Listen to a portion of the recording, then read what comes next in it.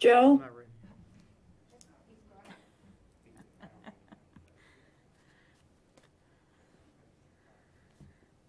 Can I take this off to talk, or do I need to leave it on? Joe? No, we're six feet, I think, and you can take it off the talk. Because I don't really think there's not, I know. not too much I have to say. Well, so I just said, if you weren't here, I can speak to it. Okay, it's, uh, according to my watch, it's 1 o'clock, and I've been given the authority You to can speak for it. start the meeting, You can speak for it. And a little less competition from the uh, audience. Dan, Excuse me, we can pick you up. on meeting that has one. started. Uh, Thank you for all being here. We do have a quorum of members. Um, I'd like to start the meeting off with a, uh, a modem- a moment of silence for a dear- very dear friend of mine and uh, a past member of this committee, uh, Joe McParland. Uh, Joe and I we're both members of finance and members of uh, this capital outlay committee for over 10 years. And um, Joe's passing has really gotten me. So if we could just have a moment of silence for Joe.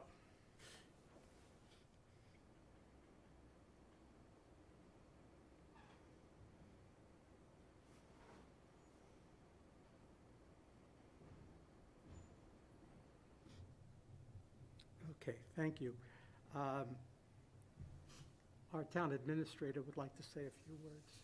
Uh, Thank you, Mr. Chairman, and thank you for that moment. Um, I I would also like to add, not only on behalf of the Board of Selectmen, but also on the Administration Department and myself personally, um, some thoughts about uh, Joe McParland and his service here in in town of Harwich. Um, I- And I have to first start by going back to 1988, when I was a um, young, uh, brown-haired college student who was also a representative town meeting member in Braintree, uh, and that's when I first met Joe. So when I moved down here to Harwich uh, uh, almost six years ago, I went to uh, what I call my Dunkin' Donuts at the Mobile, and I bumped into Joe. And we had a great conversation, and we reminisced, and I said, oh, I didn't know you vacationed here in Harwich.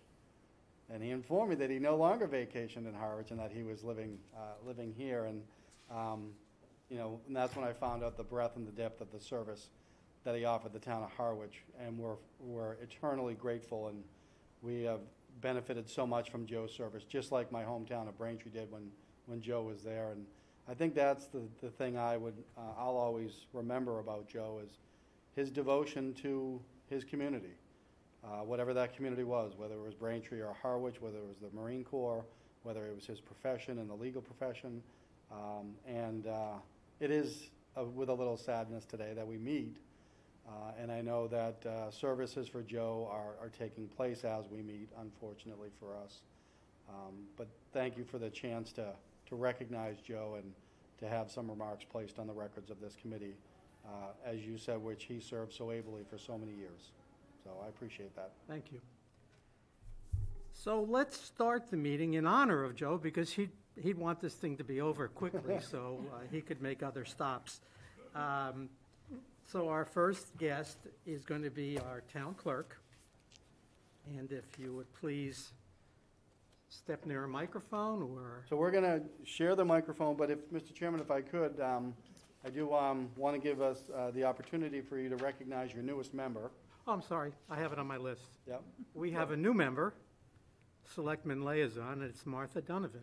Thank you. Looking And forward it's to it. proof that she is with the Capital Outlay Committee because she's completed the conflict of interest law, and that certainly helps us in this committee. Good. And I'm sure, Mr. Chairman, as a segue, it's going to help our town clerk as well that. Oh, sure. To know that everyone's in compliance. Um, She's the first one to tell you if you're not. so, uh, Uh, Mr. Chairman, what I'd like to do is, in- in, in the spirit of the other uh, presentations that have happened, I've told each of the department heads that when they present, uh, we're, we're going to be metaphorically right now during the COVID surge, shoulder to shoulder, Uh, but I am here in concert and in support uh, of our town clerk and her request. Um, You have the form in front of you. Uh, I'll defer to our clerk, but I can tell you that she's going to tell us that we need it. I agree with that, uh, and it's something that's going to help the town. But with that, I would turn it over to my colleague in government, our town clerk. Good afternoon. Um, Thank you very much for having me here today. Just a little bit of history. The last time we bought voting machines in town was in 2008. Right. And the machines that we have have worked very well. Um, However, they're going to become, um, as I've been informed by the company, um, the parts are going to be a little harder to get as we go forward, and technology is moving ahead a lot faster than, than even the, the machines that we have today. So eventually, that's why I thought it would be good to put it into the capital plan. Uh, I would hope that um, the town will see fit to, you know, approve new voting machines, because we're going to be needing them. We do have four precincts, which means I would need four voting machines, and also at least one spare, in case one of them um, should, you know, have problems. I do right now have two spare machines and four voting machines. With the federal census that just took place in 2020, when I'm still working with the state on this one, uh, we have not graduated to five precincts as of yet, but in another few years, with the rapid growth that- that I've been seeing, we may end up with five precincts in the town of Harwich, which means we will then need another voting machine. So, but for today, I think just four with one spare would be good. If we could get two spares in case we do within the next 10 years, you know, do you want to plan that far ahead? I'm not sure. Okay. And Mr. Powers, do you have anything that you would like to say? Just that administration, I support this request, uh, given that it gets to the effective and efficient uh, running of our elections, and it's bringing us into line with what the state is expecting towns to use for tabulation uh, systems. Fiscal year '23 to me is the most opportune time to purchase it, because it's far enough in advance of a presidential election that the clerk and staff should have plenty of time to work out the kinks, uh, which are inevitable with the technology.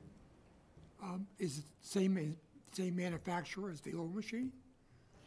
Um, There are two companies out there that, that provide, so I would imagine it'd have to go to bid, um, depending on what company the town clerk at that point in time of the town would choose to go forward. But the company that I've been dealing with for the past, well, at least since 2008, Yeah. has been absolutely wonderful. Good. Anita, is it, uh, are they 15,000 apiece? Well, to tell you the truth, I haven't really looked into the price. I'm going to guess that it's probably a little bit um, between 15 and 20 apiece, I would guess, So, in essence. uh, because of the, the rate of everything going up now, Yeah, right? sure. Um, My suggestion is then 15 is the low end. I would rather see a projected cost at the high end. So I would say 20 apiece, Yes, make it an even 100. okay. And uh, this way, we uh, don't have to go back and get more. Does the committee buy that? I, I think that's a good idea, Rich, yeah. Okay, Brian, Yes. you're good? Yeah, I agree with that. You're good? Okay. So we'll make the projected cost. Joe, if you want to uh, amend your uh, sheet. Absolutely. Like- If I may, I'm Mr. sorry, Chairman. Martha, Oops, sorry. Uh, ca- it- So if it's less than 20, can you buy five? Is that how it works? Or you have to only, you can only buy four? How does that work? Like if She you could get request- all five in for a 100,000, would you do that? she requested four voting machines plus one spare, five. Okay. That would be. So, uh, and the- the projected cost at five would be 75. Right, So it's kind of low, that's the low end of the range. right. And I'd rather request the high end of the range. Yeah, I was just asking because there wasn't a number of machines on here, so, Right. Well, like I had said, we have four precincts. Right. So I'm required to have at least four machines with at least one spare, if Right. it's possible. Yeah. You know, right now I have two spare, but, you know, it depends on, you know, it depends on the quality of the machine at that point in time. okay. Anita, are these, is there any interface between what an old machine can do and what the new machine can do? Should the old machine, if you had two of the new one break, Right. Could you use the old one? right, No, okay, so it's, right. you just have to set it aside. That's correct. So then you start using paper. Okay, Been there, done that. I understand. Uh, Mr. Chairman, if I could, that's also where the concept of the spare comes in. Mhm. Um, As our clerk can tell us, they're heavily regulated by the Elections Division, rightfully so. And so if a machine goes down, they may be able to avail themselves of the spare, but they need to treat it as though it's one of the five machines. So she could have five in circulation for any election, which is the smart way to go. And I guess my analysis, my analogy is, I've got four tires on my car and I got a spare. Mm-hmm. But if my spare doesn't have any air in it, I'm down to four. So I got a problem that I can't get a fifth. Will the vendor have the ability to supply us with, with the spare if we need a spare because our spare is down? Um, Before I had a spare, Yeah. we had, the vendor drove all the way down from Salem, New Hampshire, and met one of my election workers at the bridge to get another machine so he could come back to Harwich and we could finish our election. Okay, So thank the you. answer would be yes. Wonderful. That's Yes, good. And, they're- and they're a good company to work with, but that's my experience with them. That's good. Will you be here for the decision-making of who, who My- gets the bid if there's two? Mm, probably not. Who's going to do the, the bid and make the decision? So, well, the bid, any procurement has to go through administration, um, with, with me being the chief procurement officer. Right? Uh, a- As in this case with any other, we'd rely upon the expertise of the department head. Um, Having said that, Anita and I first met many, many years ago at a clerks conference, so we're both fully aware of the, the marketplace.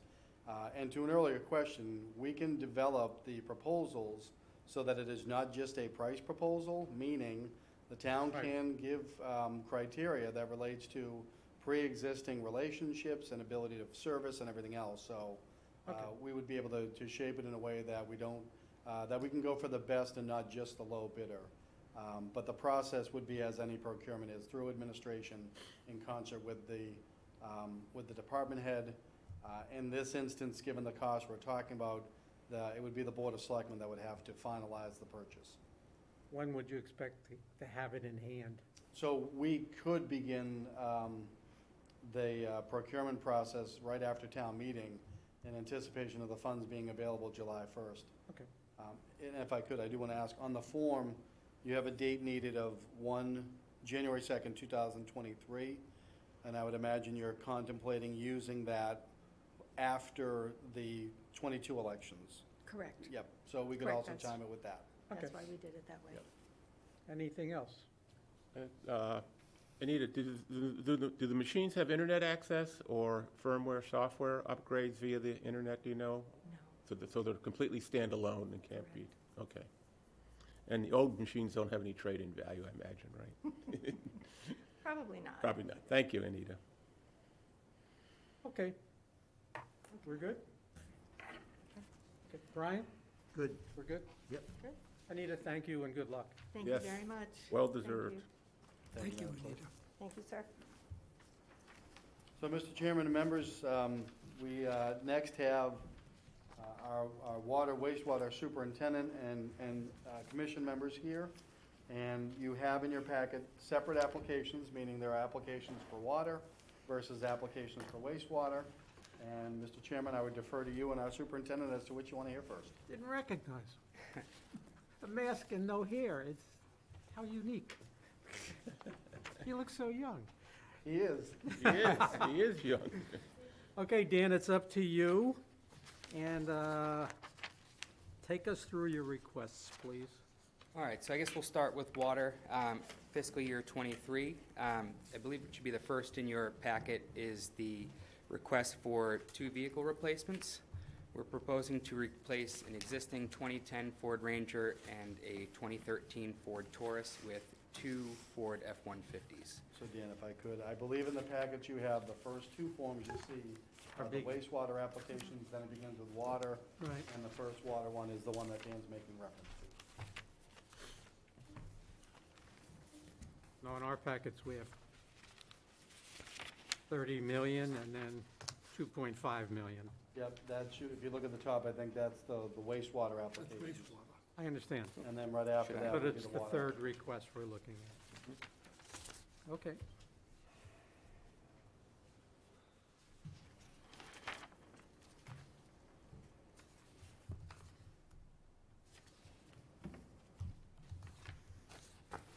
So the caveat to the ninety thousand dollars is the fact that we, we're trading in two trucks, one car, one truck, One car, one truck. and we're um, assuming we don't know the trade-in value now. We don't know the trade-in values now. We do have um, two estimates that were provided by DPW for the proposed vehicle purchases, which are just under 90,000. Can these, uh, how many miles do you have on each? Are they usable by any other department? So the Taurus has about 150,000 miles, um, which only speaks to about half of the picture. That's a retired police cruiser, so it has about 15,000 engine hours on it. So I would say it's probably beyond its useful life. Um, The Ranger, we've made significant investments keeping it on the road, but if um, there was a department that could repurpose it for a lighter utility, um, I would defer to DPW on that, but Okay. So you're looking for ninety. yes. Any questions? Nope. Nope. Nope. Okay, let's go on.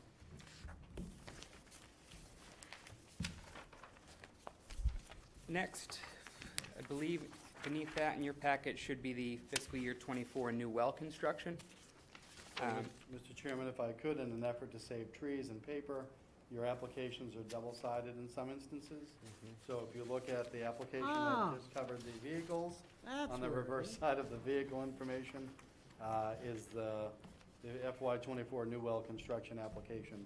Those trees on Main Street are, Yeah, they're that's my just really, story. they're really happy. Um, so this builds on, uh, an appropriation that was approved last year for new source exploration. Um, I would like to just advise the capital outlay committee, the half a million dollar estimate that was submitted in this form. Um, let's say as a, meetings I had a couple weeks ago, we've been drilling, um, throughout this year. And it looks like the water quality is gonna require additional filtration at the well ten treatment plant that we have up there. Um, so that half a million dollar price tag will likely go up, um, once we determine the additional work that will need to filter that, um, water. So that would be likely being increased, but until we have some additional information as to the degree of treatment and extent, um, I don't have a better number for you today. Where is that well located? So if you go Depot in West Harwich, under the highway there, take a right off of North Westgate Road, um, it's right almost to the Brewster line. Okay. Oh, wow. Should I continue? No, not yet. I'm, I'm getting lost, and it's my fault, between McGovern Municipal HQ. Can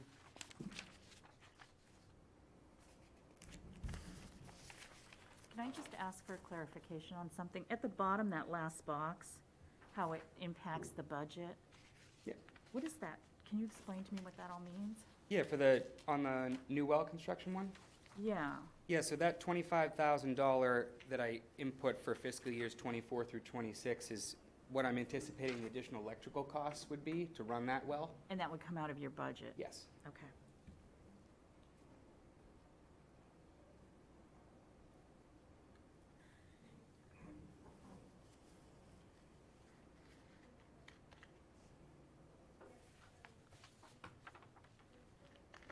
Uh, when you tap in into a new well like this, is, when you pump out the water, does it just go into the closest water main that's in the vicinity?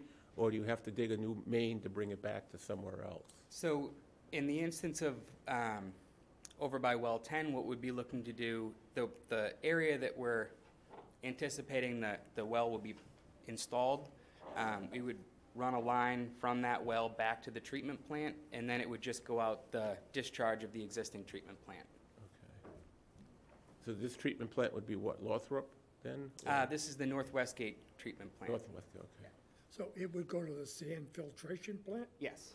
and then, okay. So when that plant was built, it was built with room to add two additional pressure filter vessels. So we would look to utilize that space and put those installed there to treat that additional source. So the request is for 23, correct? And on this, it appears in 24. I'm sorry? Yeah, so, Yeah. correct, the date needed by, um, no, Mr. Chairman, sorry, the date needed by seven one twenty-three is fiscal year twenty-four. So if you see that line where it says date needed by seven one twenty twenty-three, that's the beginning of fiscal year twenty-four. And then if you look at funding requests by year, uh, five hundred thousand dollars in year two. That Right. was also fiscal year twenty-four. But we are voting on 23. So we are voting on applications for the five-year plan, Right. as we've talked about before. Okay, so this is in the second year of the five-year Correct. plan? Yep. Okay. Yeah, and if I may, to to your point, Mr. Chairman, the only item that the uh, Water Department has that impacts upon the next fiscal year Right. is the vehicle replacements that you spoke of earlier. Okay. Everybody get that? Yep. Okay, Dan. All right. Also, for fiscal year '24, we have a request for $175,000 to continue our pavement management plan. This is to replace, Give me one sec, sorry about that. We, the next one they had would be the FY twenty-four Route twenty-eight water main all right, replacement. I'll stay in sync. You don't have to speak, speak to that one, but I just, if, if that's what the committee members have next, because, um, the one that, uh, the superintendent was speaking to is the reverse side of that page. And I will add for the record that, um, truly, paper is a problem, because we're hearing from supply sources that paper is becoming a scarcity. So, please excuse the double-sided, but it is necessary. So would you like me to continue on the water main or the pavement management? The uh, pavement management. So this, um, what we're looking to do with this is repave, um, or do an overlay at the T2 well field, which is right off of Depot Road. Um, we had done, I believe it was two or three years ago, we started this plan and we repaved our, uh, well field at 196 Chatham Road. So this is a continuation of, of that project. Did you get that hundred and seventy-five thousand from the highway department? No, that was funded through water and, uh, retained earnings. Just seems like a lot of money for that road. For the well field, it's a, there's a lot of pavement back there. I've been back there. Yeah, and when we did one ninety-six Chatham Road, that was about hundred and twenty-five thousand. We did coordinate with the DPW, um, and we did go through the county bid for paving. Um, so it was all the same price that DPW pays for paving. So that price could move up or down. It could. This is the place, you know, until we get the bids, fuel, you know, oil, sorry, oil and tar, asphalt pricing between now and fiscal year twenty-four, I would say is one hundred percent going to change. And is it just a dirt road right now?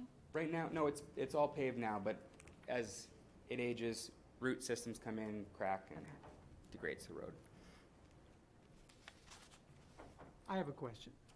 So that we, when we visit this again, 365 days from today, should you be here with longer hair, um, these requests would be then in the current, they would be in the first column, correct?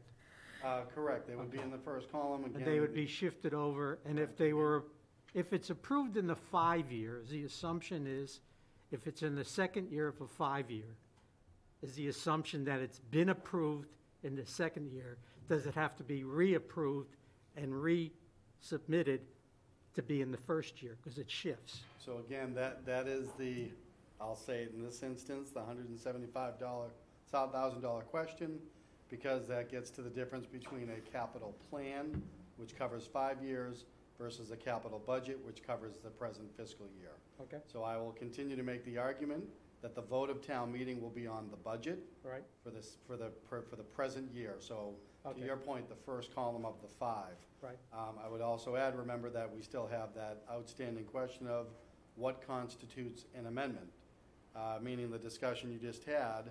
Uh, And I want to thank the superintendent because I want to emphasize what he just said. He worked in concert with the Department of Public Works, who deals with paving on a daily issue, and they both relied upon the county bid process because that is the best price point out there right now for municipalities. But to, to the point, we're talking about a price of hundred and seventy-five thousand dollars in January of twenty twenty-two for paving that is gonna commence in July of twenty twenty-three, who knows what's gonna happen to the, to the price point on that? So the budget item next year could be amended perhaps, but right now, there is a discussion of the five-year plan, and this is also for the benefit of the new member, Thank you. versus the budget. There will be an article in the town meeting warrant for 2022 town meeting, May 2nd. As God is my witness, will happen on that day in that location uh, for fiscal year '23 capital items. I'm not anticipating that town meeting would be voting to adopt the plan. Just the budget, Correct, just the budget. and that's 23. But, but this committee does bear the burden, as do I, of working on a five-year plan. Okay. And just for my edification, how far do- does it vacillate the plan a year out, two years out to the actual? Like, once it's in the plan, it can come out, it can, the dollar amount can change? That, that remains the big question. Don't know. Okay, If you have an opportunity, sorry, Mr. Chairman, if I may. Sure. Um, If you have an opportunity to look at um, the immediate previous meetings, I've been talking about the disconnect between the current charter, uh, potential amendments to the charter going forward, and then, a- and surrounding all of that was what was the intent of the uh, bylaw charter review committee when they made these amendments originally. So there's a lot of outstanding questions that I think will only be answered by going through the process.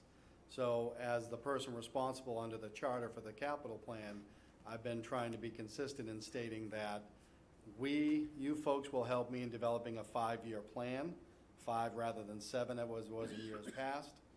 Uh, the five-year part of that should be adopted by the voters this year, we hope, to, to sol- solidify that.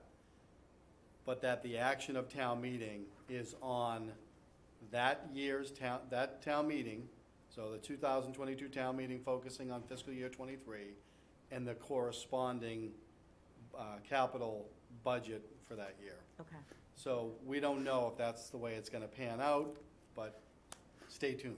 okay, Martha, you're lost and we're lost. Okay. This is unique. I've been here over 10 years. This is the first time we're doing it this way. okay. okay? Whoever came up with this did not totally understand what we go through to figure out the approval process. So we are attempting to achieve some type of success. And fortunately, or unfortunately, Joe has to deal with it and let us know what the, what the answer is. And Dan, your input is good, so. Okay, so we've talked about the 175. You did the 500. Let's look at the big stuff. And then, so members, if you flip that page, you're now looking at the fiscal year twenty-four, the seven million dollars that, uh, the superintendent was going to speak to about water main, water main replacement on Route twenty-eight. Thanks, Joe. So this is, um, for fiscal year '24, we are currently in the design phase of this project. um, And this seeks to replace the water main from, on Route 28 from Lower County Road to the Dennis town line. Um, A portion of this project is being coordinated with Mass DOT. Um, We're looking to hopefully save as much money as we can in partnership with them. Um, And also working with the wastewater side of things. um, for that same stretch between the Dennis Town line and the Herring River Bridge um, for that project as well. We will also, with the, I'm sure everyone's hoping, just as I am, that we'll be able to benefit from some of infrastructure money. I know that Build Back Better hasn't come through yet, but hopefully there'll be something. And I just want to note that with this project um, and others in these out years, we're going to be looking to take opportunity of any available monies, grants, um, that come through those avenues. Okay. Any questions? No. Did you say it was from, from Lower County up by the post office? you Yep. mean? All the way to West Dennis then? Okay. Yeah. That's a good sec- stretch of section. Yeah. Thank you, thank you, Dan.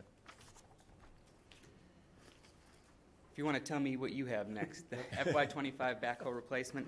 Backhoe, okay. Um, so this is for fiscal year twenty-five to replace our current nineteen ninety-eight John Deere backhoe three-ten. Um, this machine primarily resides at our main office and serves as a loader for our trucks. Um, for water main breaks and things of that nature, um, and it's getting, getting old. We would be looking to trade that backhoe in towards its replacement as well. Give me a dollar figure again. Um, I had hundred and twenty-five as a placeholder there. Okay. Should I continue? Yes, please. Next item in the plan was for fiscal year '25 for repainting the Pleasant Lake tank. Um, Again, we have a placeholder for 1.75 million. The hope here is that we can do this with an overcoat, not a full blast in repainting. Um, This tank also should be more cost-effective to recoat um, in comparison to the other ones we have in town. The other tank that we have on Route 39, we refer to as a spider leg tank. Those require a lot more handwork and tooling to prep that for painting with all the turnbuckles and legs. So I'm hoping that this will be on the lower end. Um, Okay, I have a question. sure. I like to think of that as the newest tank in town. Yes. If like we Almost. just put it in, how long ago did we put it in? That one, uh, 2010, if I'm not mistaken, wa- that one was built, yeah. And then the Lothrop tank was 2016. 2010, huh? Yeah. Dan- is that the tank on Route 6, that you see Route 6? Yes. Okay. And uh, how much does the new tank cost? And would we build one like a Lothrop tank there, or if it's even physically possible? I don't know, I'm just curious. Yeah, so Lothrop, we were fortunate to be able to do a ground level pumped storage tank there um, because we had three elevated storage tanks. So just as a hypothetical, um, this past year, we've been doing a lot of work at the Pleasant Lake tank. Uh, We increased the diameter of the fill pipe there, and we redid all the yard piping. If we replaced the 39 tank with a ground level tank, when we did the work on Pleasant Lake tank, we would have had to buy water from a neighboring town. So the elevated water storage tanks is what provides water pressure to all the, the whole distribution system. So if we lose that elevated storage, we lose pressure. So I wouldn't recommend a ground level in Okay. place of one of our other elevated tanks. And do you know, do we have any uh, revenue that's derived from that tank for cellular coverages at all? And Yes. can we expand upon that possibly, since we're going to be, have equipment there to put a better platform up there to encourage more rental or space? I'm just curious. So right now, we do have um, lease agreements on both of our storage tanks. We have them with T-Mobile and with Verizon. Um, I believe they're on both of our tanks. Um, Most recently, Verizon was looking for an additional cell site, but they weren't in the area of our tanks. We did put out a bid for, um, to construct a cell tower at the 196 Chatham Road property, but unfortunately, during negotiations with Verizon's legal team and Harwich's legal, we were unable to come to an agreement. Um, And that, they were proposing to erect like a 130 or 40-foot tower on Chatham Road. Um, I don't know that there's a need yet, but I know they're actually out doing upgrades on those facilities now, putting up 5G and new antennas. Um, But where we do have the major carriers, I don't know if there'd be an opportunity to expand, but it's not something we can't explore. And I imagine that's something you could work with the carriers to pay the cost of expansion too, so, uh, okay. Thank you. Well, the, the carriers are gonna rent it. Yeah, They're not gonna build it, they're gonna rent it. right, Yeah. oh, yeah, yeah. Not that I spent 38 years with a carrier, but uh, you've got something that should appear in the third year for $10 million. And I don't see it on the um, five-year plan. That was a late entry. Oh, It's on the back of, it's on the back. of the one that is the rolling stock, the back of it is the 10 million. Yeah, I know, it's 10 million, but it doesn't appear, No, you're right, that's. doesn't uh, appear on this, which Ah, is, okay. That's a The miss Bi- by me. this is a Bible. Uh, And Mr. Chairman, if I could, um, just for future reference, Sure. uh, the superintendent talked about ninety thousand in fiscal year twenty-three for vehicles. Yeah. Uh, There's an application, it's the next one that appears in my packet, So that's your heads up, Dan. Uh, Fiscal year '25 vehicle replacement for two of them. So what we'll do in future years is vehicle replacement Yeah, will be one form covering any and all vehicles for the five years, so we'll consolidate that going forward. Um, While the superintendent can speak to that, I'm gonna update the plan to make sure I reference that, uh, the ten million dollar, uh, item for distribution system upgrades. So which, should I, should I go on the 10 million? So the next one they have is the two vehicles for fiscal year. Oh, there's the 10 million. um, this- 25. This is the first page they have, Okay. and then the second page will be that. Let's, let's,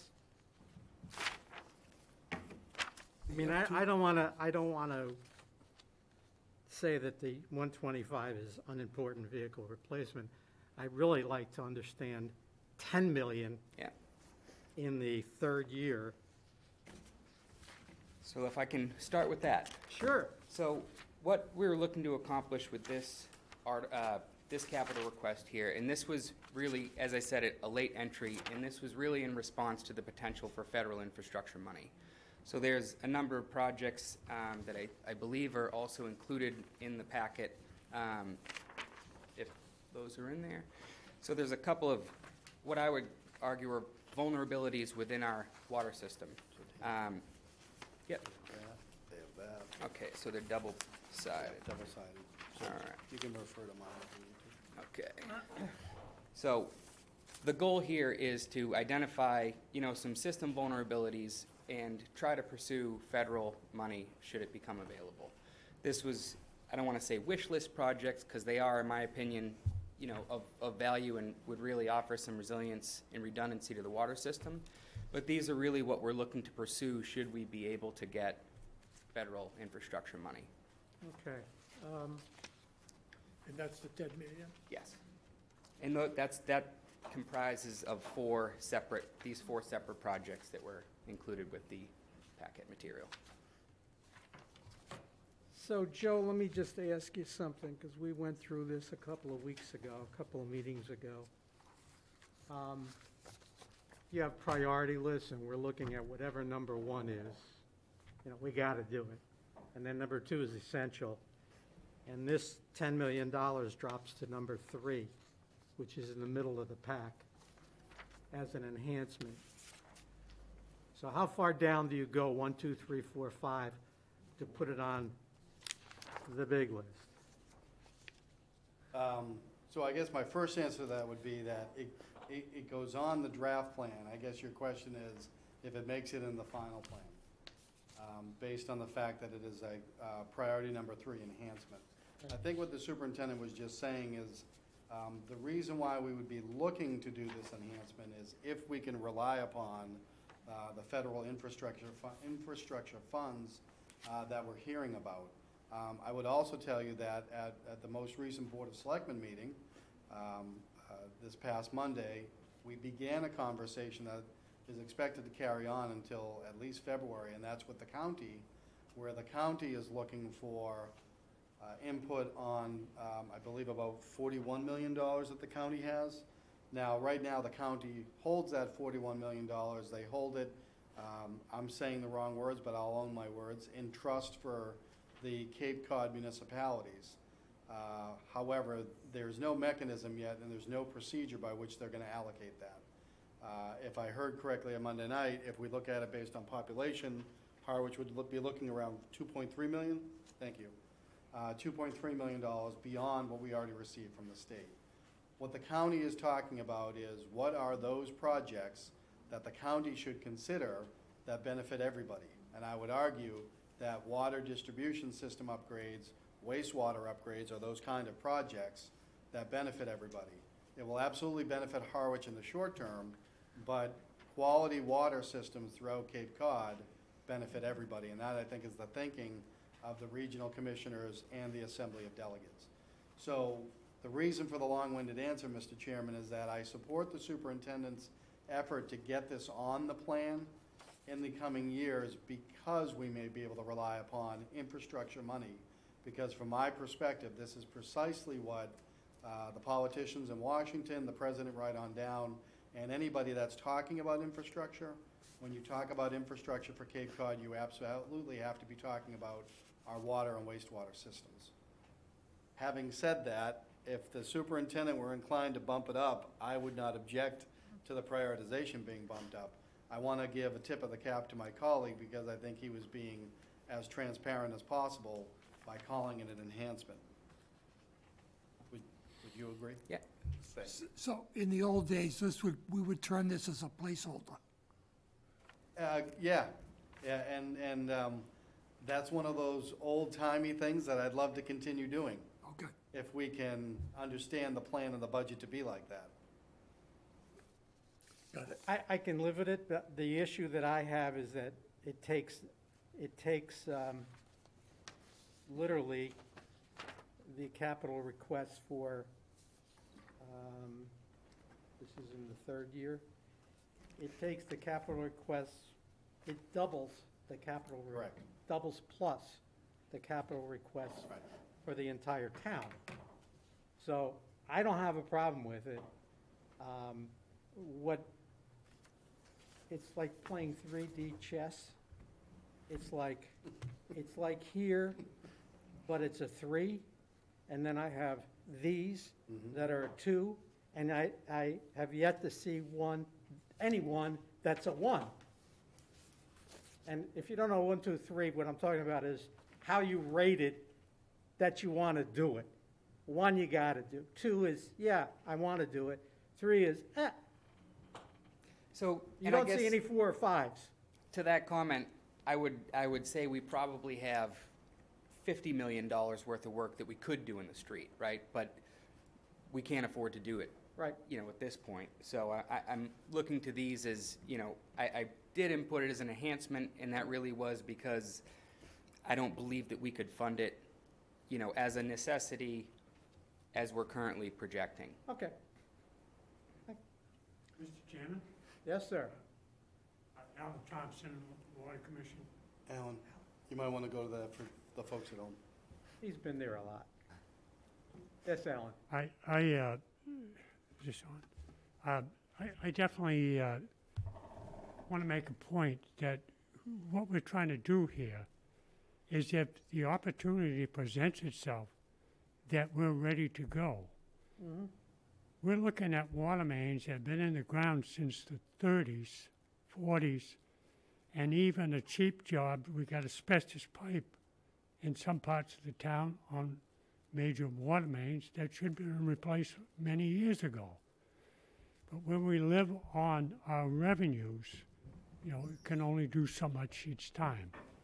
So with the opportunity for money that came from federal level or in programs as such, if we were ready to go, we could take advantage of it. And over the years, these things have happened, but we never seem to be in the right place to take advantage of those funds. So what we're trying to do here is to put ourselves in that position so we could be, receive those funds and get these projects behind us. I mean, half the reason we have water main breaks is that it's old duck, uh, old cast iron, uh, you know, it's uh, full of rust, even though we flush and do all the things, and it's weakened over time, and it just, uh, you know, uh, the headaches will keep coming more and more as time goes on. And we have a lot of that throughout the town, and, and unless you do something about it, you know, then these problems keeps existing. So that's, that's where we're at. No, And- I, I appreciate your input, Alan, and you've been working with us a lot, okay, for a while. The issue that we have is that we, part of the planning process we're doing now is categorizing how important any request is. I would rather see this bump up and put on the budget rather than, I know it came in late, okay? But I'd rather bump it from, it's an enhancement to it's essential. Because if the money there, if the money was there, it's essential, not an enhancement. Because you're still then degrading what the value is to us. And if it's essential, let's bump it up to essential and put it on the list, and it's a placeholder. I mean, Yeah. If we get it, we get it, okay? So that's, that's my point of view. Yeah, well, yeah, you guys I guys, agree with you. yeah, you guys know the system better than I do. We're learning it. This is all new to us, okay? I, it- you know, it's different than when I did it, you know? Oh, yeah, you and Pete Watson could figure this stuff out like that, but now we gotta really think about it, you know? Yeah, well, um, we- we were on a fixed. We fixed, get am- guys that use computers. This is different than us, paper and pencil. I know. we were on a fixed income, you know? Yeah, I that's- know, uh, yeah, tell me about it, I know. Yeah. My heart bleeds for you, man. Yeah, brand new Cadillac, yeah. Okay, Mr. Chairman, if I could, surely. um, just for the benefit of your new member and, and perhaps those watching uh, remotely, to your statement about priorities, I just want to remind everybody that we're working off of a form uh, that was developed by the Div- uh, Division of Local Services. We cannot edit it, that's why you see the phrase infrastructure, not infrastructure. Um, We can't change that typo, which kills me.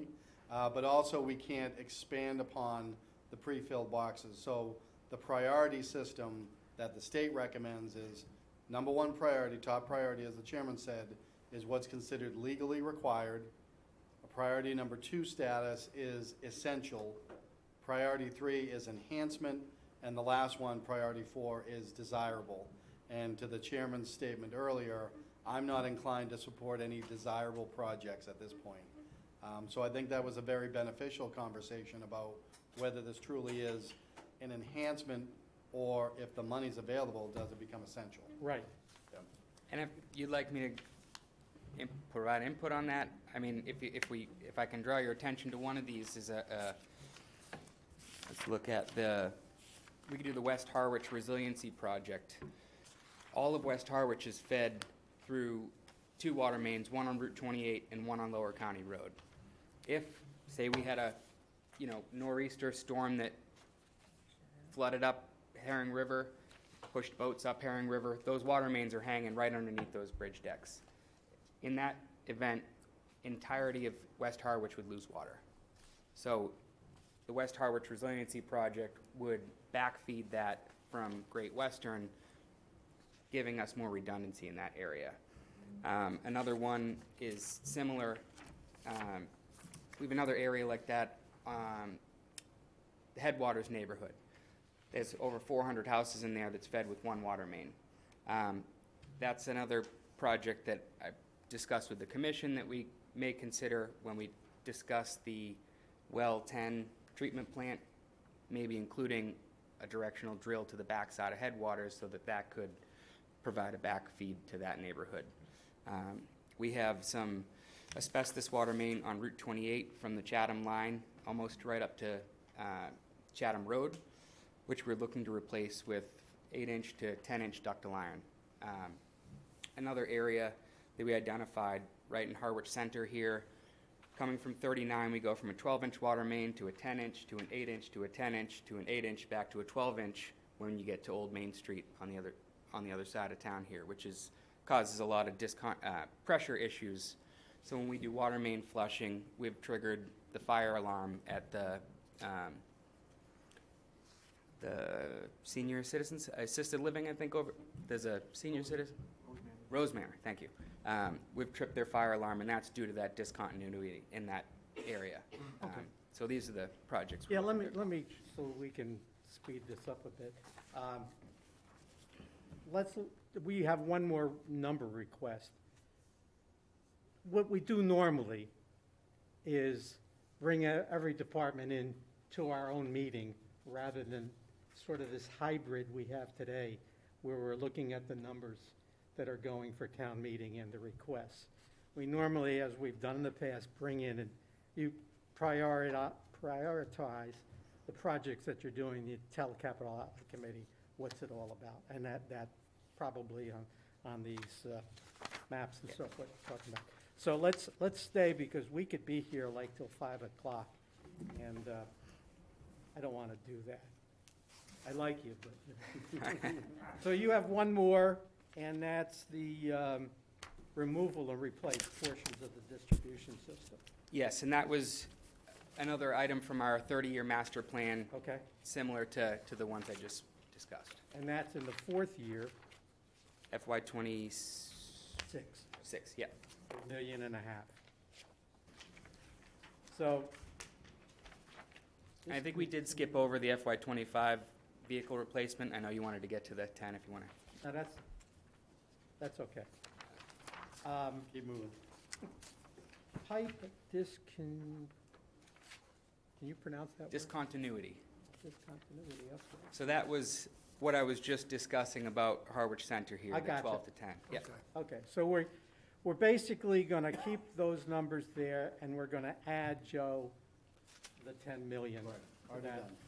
You got that all? Yep. Okay, guys? Okay. Dan? Wastewater? Let, yeah, that's, Even bigger numbers.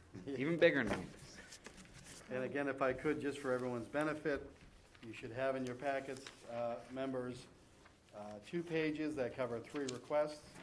The front page that I show starts with a request date of December thirteenth, twenty twenty-one, for fiscal year twenty-four East Harwich Collection System Expansion, parentheses, Phase Three. Um, You can see the priority is legally required. Uh, Date needed is seven one, two thousand twenty-three, so that's fiscal year twenty-four, for thirty million dollars. The reverse side of that is FY twenty-four Route twenty-eight sewer main installation. And then the third application is fiscal year twenty-five Phase Four collection system design. So that's the order in which they have them, if you want to go that way. Great. So I'll just preface the wastewater discussion with that we're just embarking on CWMP revisions, um, so that is likely to impact outgoing wastewater capital items. That said, I have some confidence with the timeline here. Um, Hopefully, next Tuesday before the board will be the design contract to begin the design for this article, um, the design of the collection system for Phase Three. So once that's underway, this would be ultimately the construction to do the Round Cove and Herring River watersheds in East Harwich. So that would keep us in line to meet our permit requirements under the watershed permit with the Pleasant Bay Alliance. Um, I did break this into, it is a $30 million request, and I did propose it to be funded in two fiscal years, um, really because having two massive infrastructure projects going on simultaneously in East Harwich um, was a nightmare for people to get around. So we're looking to do that um, a little better next time.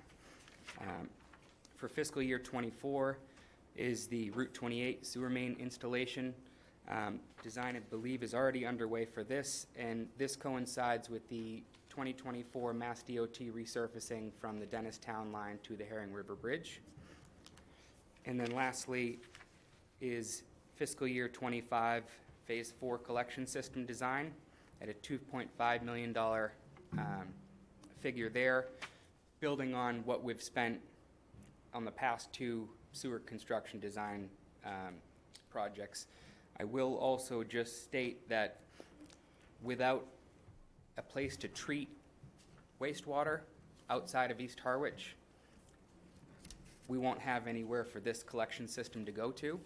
As part of CWMP revisions, you know, we hope to talk to Dennis about potential partnership opportunities, but if those don't come to fruition, you know, if the town has to build its own plant, or whatever that looks like in the future, will likely impact this third request for FY twenty-five. I have a question for you. On the thirty million request, and it has to do, have, has the map changed in terms of implementing sewerage in East Harwich? The, I are get that- are I you get- referring to the CDM map that was color-coded that had the phases? Yeah, it tells you what date you're gonna be, what Yeah. phase you're gonna be. Has So- that changed? The limits of the sewered area may change, yes. Um, and I say that because attenuation rates have changed in East Harwich, and I'd also like to explore discussions with the Wequassett. We may be able to pick them up as a bigger customer, removing nitrogen from Round Cove, relying less on single-family homes in the watershed. So there are some things that I'd like to do through the CWMP revision process and planning to refine that area. I wouldn't say that it's gonna change dramatically, but I wouldn't say I wanna die on that sword, if you will, of those limits. Well, the question that I have that people are approaching me about is the fact, are contractors still required to get them ready to connect to a sewer system? And I think the question is gonna come up at town meeting, whether it's formal during the meeting, mm-hmm. or let me pull you aside in the corner and, hey, Joe, what's, what's the scoop? Yeah. And I think we have gone through enough. I'm East Harwich myself. I'm not affected till I'll be dead. But the people that are affected have spent money already, is the assumption that what they've done works with this, or whatever the plan is modified to look like. Have they spent money when they didn't have to? Do they still have to spend money? And I think we, someone, there used to be committee, and some, somebody would head the committee, and they would have the neighborhoods come in and discuss it at the community center, or whatever. Are we prepared to do that again? Or are we not ready to answer these questions, even though the, the questions were presented two years ago, three years ago? And we spent time two years ago, three years ago, you know, saying to them, yeah, this neighborhood needs it, you need it, we've got five contractors that can do it. Does all that still apply to the situation we're in now with modifications? So just point of clarification for myself, when you talk about um, people who have spent money so far, are you referring to people on streets that were removed from Phase Two due to the bid overrun? No. Or- Okay, so you're referring to the 440 houses that have been sewered by Phase Two so far? I don't know, to answer the question, I, I don't So- know, because I think people don't understand the magnitude of what we're trying to do and what has happened during the process that possibly have changed Right. the rules of the game. Right, so, and that's, that's, I guess, the adaptive management component, right? So the attenuation rates of the natural estuaries and embayments in East Harwich have changed. They've changed since we started the CWMP. They've changed in Upper Muddy Creek in a favorable way for the town of Harwich, in that the sewering that we did was more effective than when we put the plan together, right? So we're taking in all the new information, new attenuation rates, and what we need to do, so the watershed permit has a specific amount of nitrogen that we need to remove to meet the appropriate concentrations in the harbor. So we have to back into how many homes we need to sewer based on that number. And the number of homes is this times the attenuation rate, which will give us our area. Once we do that work, once we have the conversations with Wequassett, we would be ready and be able to discuss which parcels are gonna be sewered and which ones aren't, so that people could prepare and take action. If that, And I guess that's a very technical, very professional answer, but the average homeowner back two years ago got a letter in the mail with a map, and if your street or your house was highlighted on the map, you had to do something.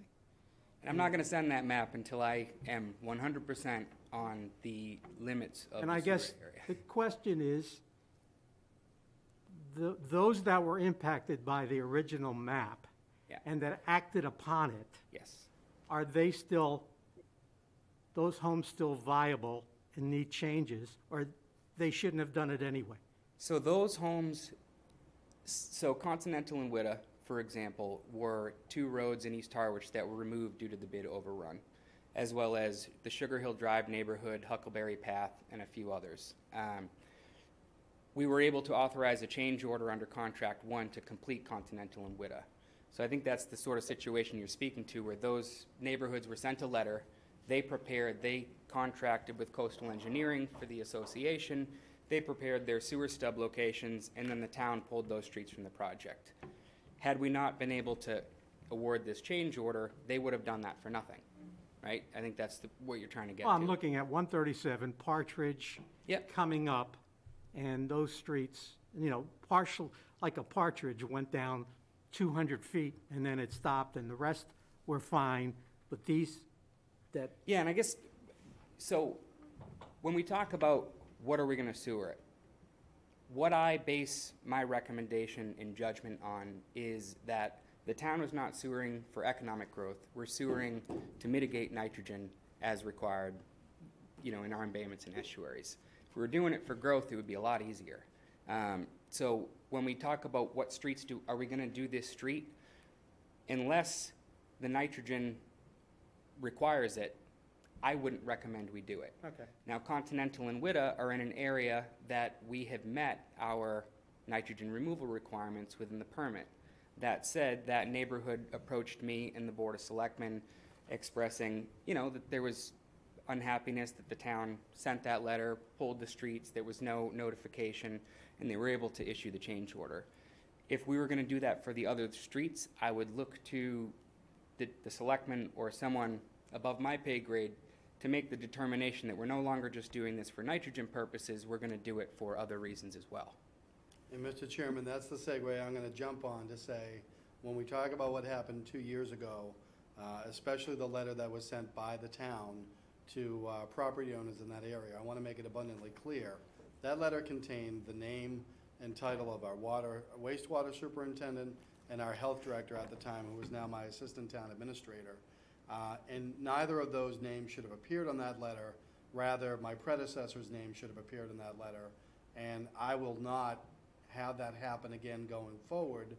If a letter goes out, you will better believe it'll be signed by either the Board of Selectmen and/or me, rather than foisting it upon staff, especially where those staff members were arguing against that action.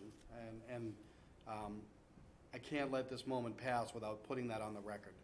Uh, What Dan and Megan were offering the town was not accepted. Uh, I'm not going to make that mistake going forward. The way I would wrap this whole thing up, or try to wrap it all up, is this is a, uh, a good faith effort by administration through the Board of Selectmen to partner with our wastewater uh, superintendent as well as the Water Wastewater Commission uh, and to do things better than we have in the past. And so that's why um, Dan's presentation today and what he's recommending uh, are meant to uh, announce to the community that we're still working on wastewater. There's still a lot of work to be done, but we are working uh, ever diligently to not make the mistakes that were made two years ago by folks that are no longer part of our government. Okay, I, I, I, just a recommendation, because we were involved, this committee has been involved in this stuff. I, I think it's, im- I understand COVID has put a lot of dampers on, on things that we normally have done. Um, And I don't think anybody's, anybody's gonna turn on the TV to watch somebody tell them something. Um, I think as things maybe improve health-wise and the environment, I'm recommending, and I think this committee should recommend, is that we're looking at numbers like that, that affect so many people.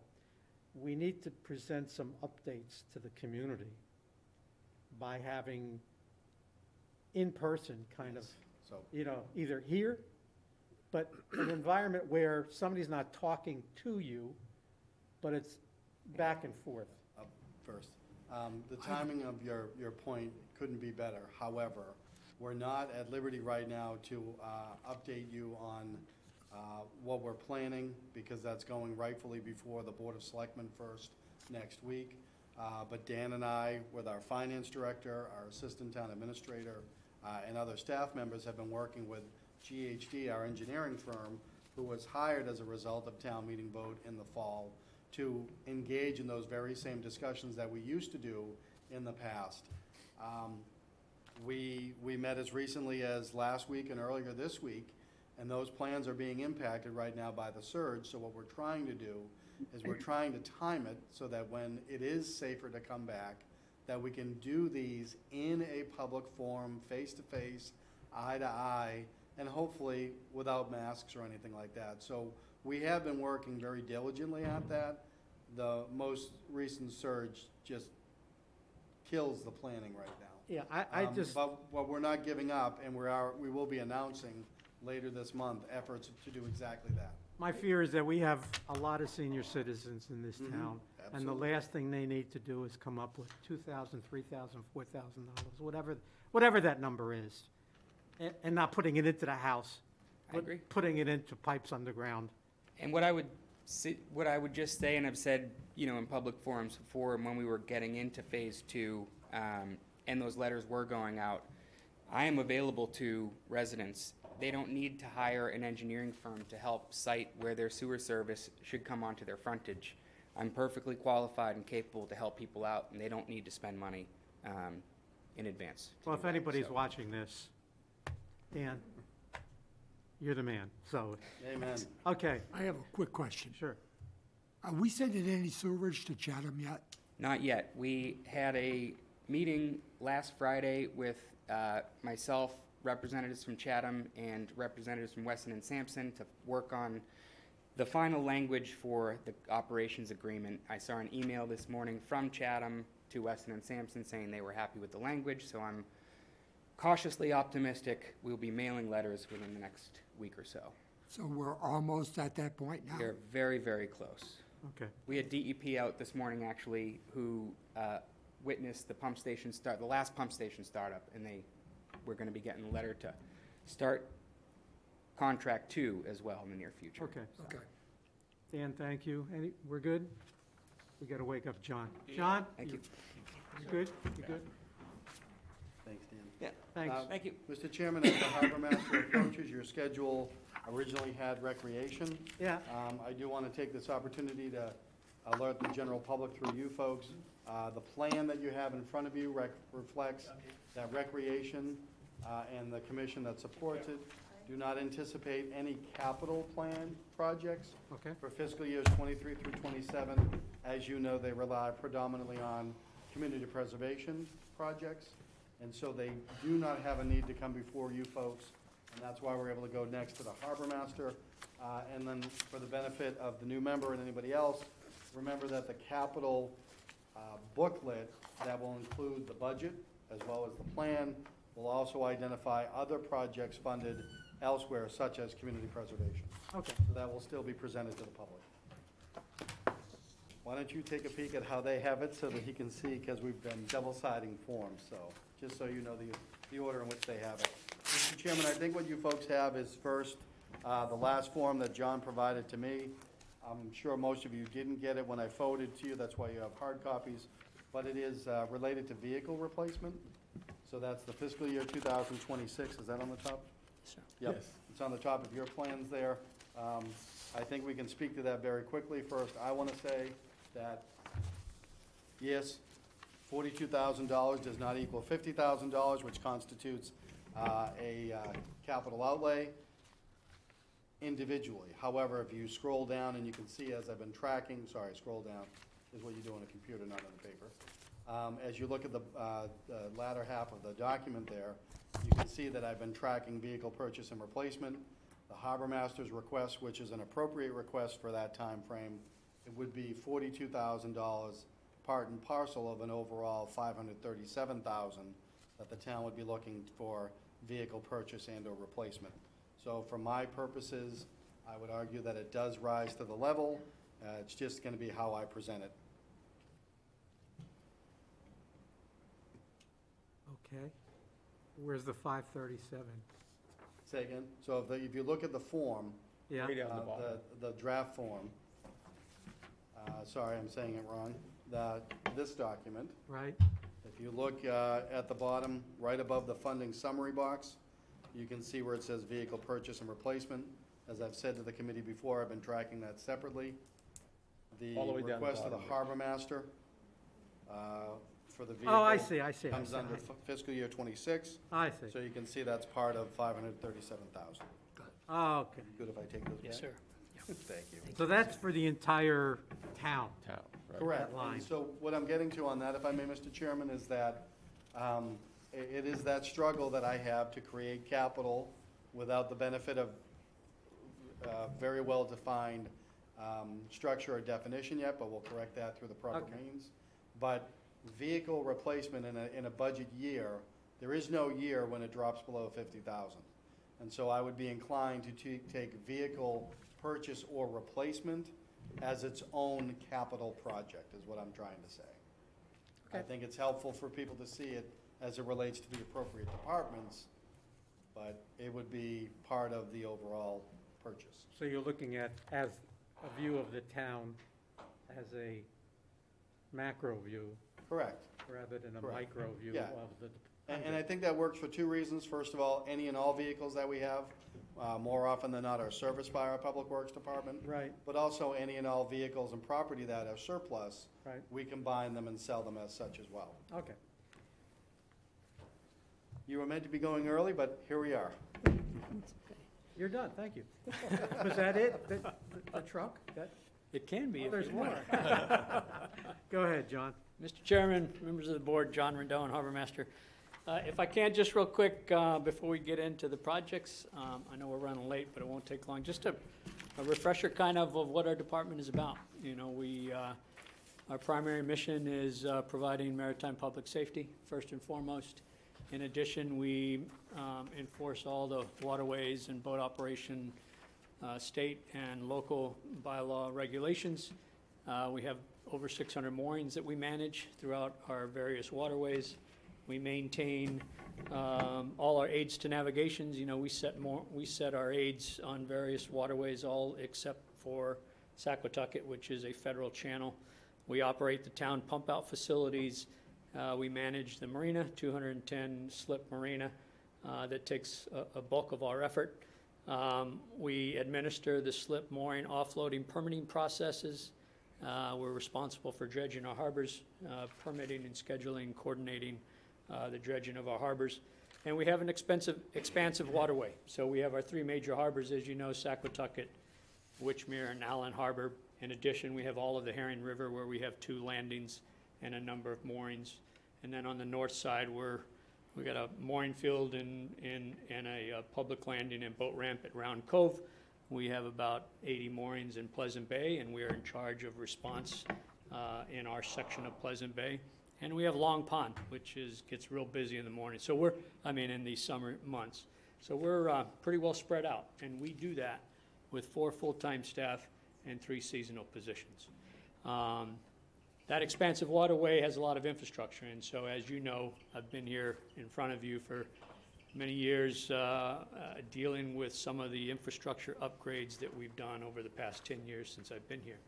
And so most of what you see on our cap, my capital plan, uh, the five-year outlook, um, ag- again, deals with infrastructure.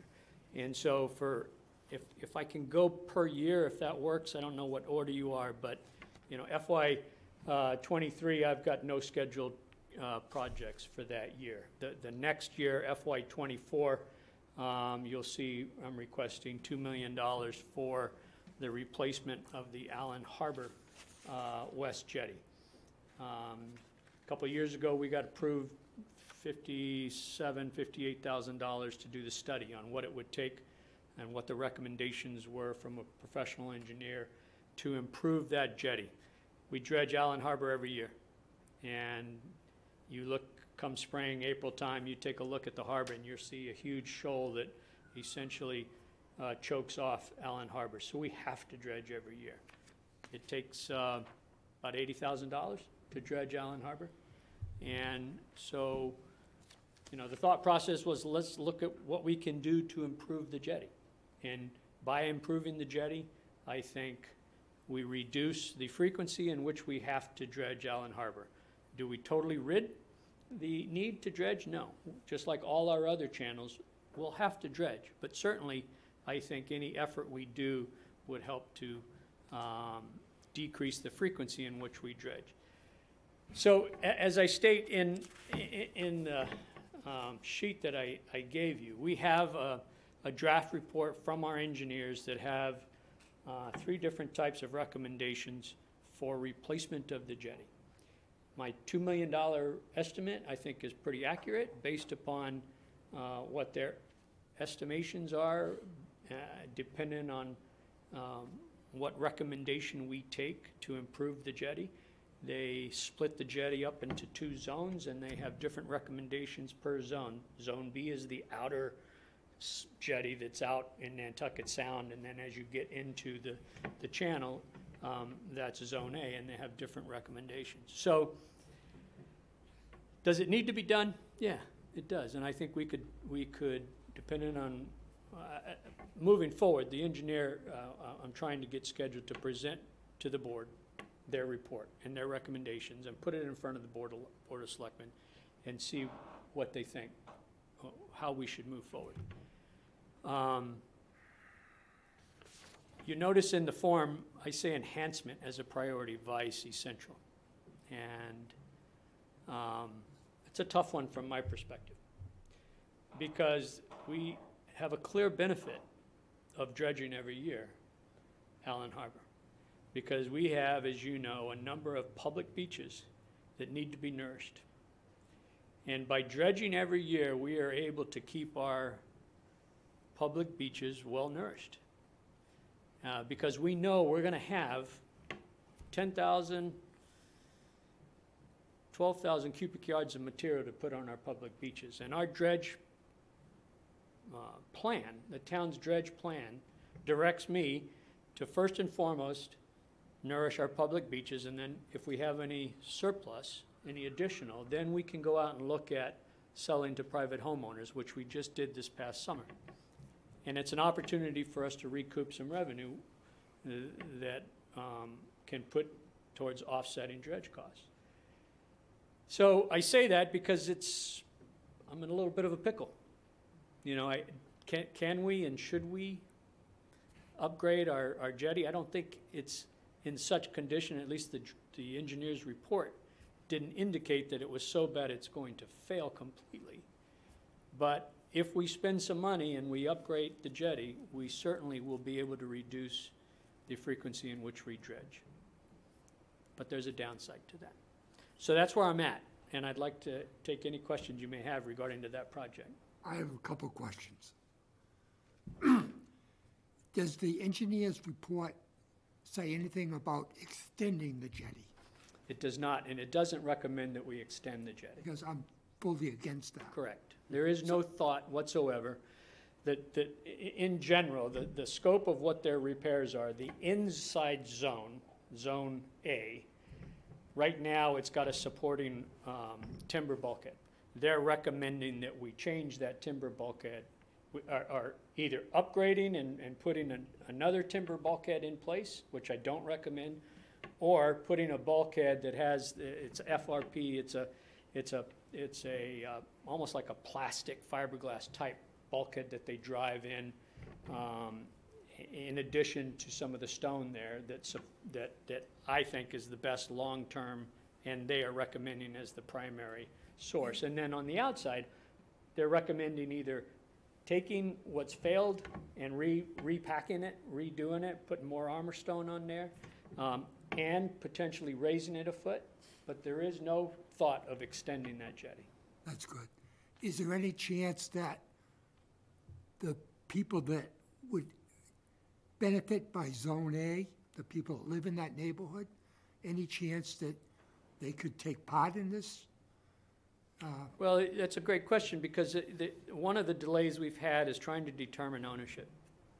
Where does that private property start when it comes to, because we're not going all the way down. If you look at, if you look at the jetty, you're gonna see kind of three things. You're gonna see the outer, you know, the, the jetty that extends out into, into Nantucket Sound. And then you have this pretty sturdy, good-formed jetty that's got some uh, timber bulkhead that supports it that, that clearly is in disrepair and needs to be replaced. that And then belong the to the further you go neighbors? down, it's all just wooden bulkhead, that's all, that is the private property. And our intent is not to go that far.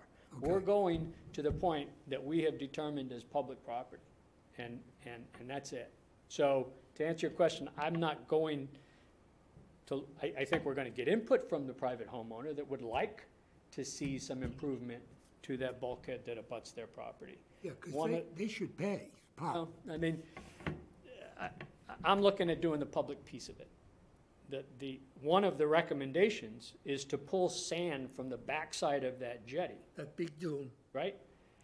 And there's gonna be there, there's gonna be some issues there, because that Excellent. beach can be considered, that accreted sand can be considered part of the private property. As you know. So, those are gonna be some hurdles to overcome. Well, that dune that's on the west side, every time the wind blows from the southwest, it blows the sand off the top of that dune right into the channel. Yes, sir, it does. So, That's part of the problem. It's going over, it's going through, and I think it's going under. John, the, um, the request is for two million. Yes, sir. And you're, the town is currently spending eighty a year approximately to dredge. Right. You spent the two million, how does that eighty, does that eighty still exist? You spent, I mean, if we go back to thirteen, call it ten years for the sake of argument. We spent, if that eighty is true and hasn't gone up, we're talking about eight hundred thousand, almost a million dollars of dredging that we've dumped in, literally, and we spent that money, and we still have to spend it every year, it's recurring. Does that recurring amount decrease or go away if you spent the two million? Yeah, I mean, I think it clearly decreases. I don't think we're gonna have to dredge every year, once this is done. I think we'll probably have to dredge every three or four years, similar really? to what we Okay. do Saquatucket, right? Okay. Um, But how do you put a price tag on, um, well, the value of what that sand does for us to keep our beaches nourished? And that, that's a question that needs to be considered, I think. I got a That- question, Rich. when you- Sure, go- John. Go ahead, Bruce. yeah, that's an important question because last summer season, when you sold all the sand to the people in that neighborhood who paid for it, Yep. and none of the sand got put on the public beaches, That's not true, but go ahead. well, it's all down there now anyway, because it all moves. We towards put a lot of sand, in addition to the privates, we put a lot of sand on our public beaches, because I had a huge volume of sand, because I did both Allen Harbor and Saquatucket Harbor. The neighbors in the Windermere Bluffs area were concerned that they didn't get any sand. Windermere Bluff's got a ton of sand. Uh, Concerning the sand, though, too, you say it costs eighty thousand dollars to, uh, to the town, but then we get reimbursed by the, t- by the private people buying the sand, though, right? Not every year. Not When every- I, when I can sell sand, when I have surplus sand, then, like, for example, this past summer, we sold to, don't quote me, six or seven property owners. Yeah. We generated about hundred and thirty thousand dollars. Right. And so clearly, that offsets our dredge costs, right? Okay. Does it pay for it outright? No, but it certainly helps. But you've never had an issue selling sand, though, either, right? I We have mean, not. the- The demand out outpaces your, uh, what, what you s- actually dredge up there. That's And, uh, correct. And uh, like you say, it is a difficult decision, John, and uh, uh, I'd like to hear from the engineers on what they think, you know, because there, I'm sure there's no guarantees. We spend $2 million, they're not going to guarantee for 10 years we don't have to dredge Allen Harbor. Yeah, you'll never No. hear that. I mean, Yeah. that's just, So I, I think that the town makes enough money uh, by dredging it, and the biggest thing is that the beaches get nourished. You know, I don't know what the number one draw in Harwich is, but I would bet the beaches are pretty close to number one draw as far as people coming in spending dollars at the beaches. And to replenish those beaches every year is, I think, is almost an annual thing that we shouldn't do. So, uh, Well, fortunately, it's not in this year's budget. It's, No. it's in the plan. I don't think anybody disagrees that it could be in the second year, we'd agree. That, again, we'd look at it, because it, if it stays where it is, it's gonna drop back to the first year, next year. Correct. It comes the current year. I mean, I think the Uh, only piece to that, if I can, Mr. Chairman, is we're gonna have to make a decision sooner than, sooner than later. Yeah. So I'm hopeful that the town, that um, GEI Consulting will, within a month's time, be in front of the board to brief their findings. Well, if that is in fact, I mean, it, does it still remain in, in twenty-four? It does, because then we, we have time, we need time to do all the permitting for it. Well, that's your administrative stuff. I- I'm concerned about, No, does I- it appear in the right year? I agree. Should we agree that it should be done? I agree with the timing that the, the harbor master has outlined. Right, um, for not only the permitting, there's also gonna be the procurement issues. Um, But I also want to use as an opportunity to draw you back to his form, because John has given quite a bit of useful information in his form, whereby he's telling us that it's not just the project, the project includes the engineering administration, and that's important to note, because in years past, we might have said fifty thousand for engineering, and then two hun- uh, two million for the project. John has done what I've asked the department heads to do, is consider all of the ancillary costs that relate to that. In the So 2 that's million. captured in his request. In his 2 million. Correct. What's also captured in there, if you look under the section that talks about, are there available revenue sources other than municipal funds? Now, these are funds that the municipality has, but I think what John's recording here is these are special funds that he has available uh, that may come to bear. Is that what you're talking about? I have Carol behind me, so she's probably saying, well, there's not much money left in those accounts, because these are funds that we have where, they're waterways funds that we are able to uh, utilize for these types of projects. But these funds currently have just been used to pay off Witchmere Harbor, the debt that we had there. And now they're being utilized to pay some of the debt on some of these other um, Saquatucket project. you So the know. question is if there's funds in there But at there's the time. funds there Right. that we, are waterways receipts reserve funds that Could we be have used. available, could be. Okay. Did I answer that right? Potentially. Well, you you did in my sense that, again, for the purposes of transparency, we're putting out there that if we can use these funds in this way, we're not just looking for a two million dollar handout, figure out where the money comes from. It's meant to be a collaborative uh, effort by a a harbor master to show that we're looking at any and all potential funds that could impact upon this, or any and all sources that could impact upon the funding. Just a quick question. That bar is uh, really growing pretty good in Allen Harbor Channel right now.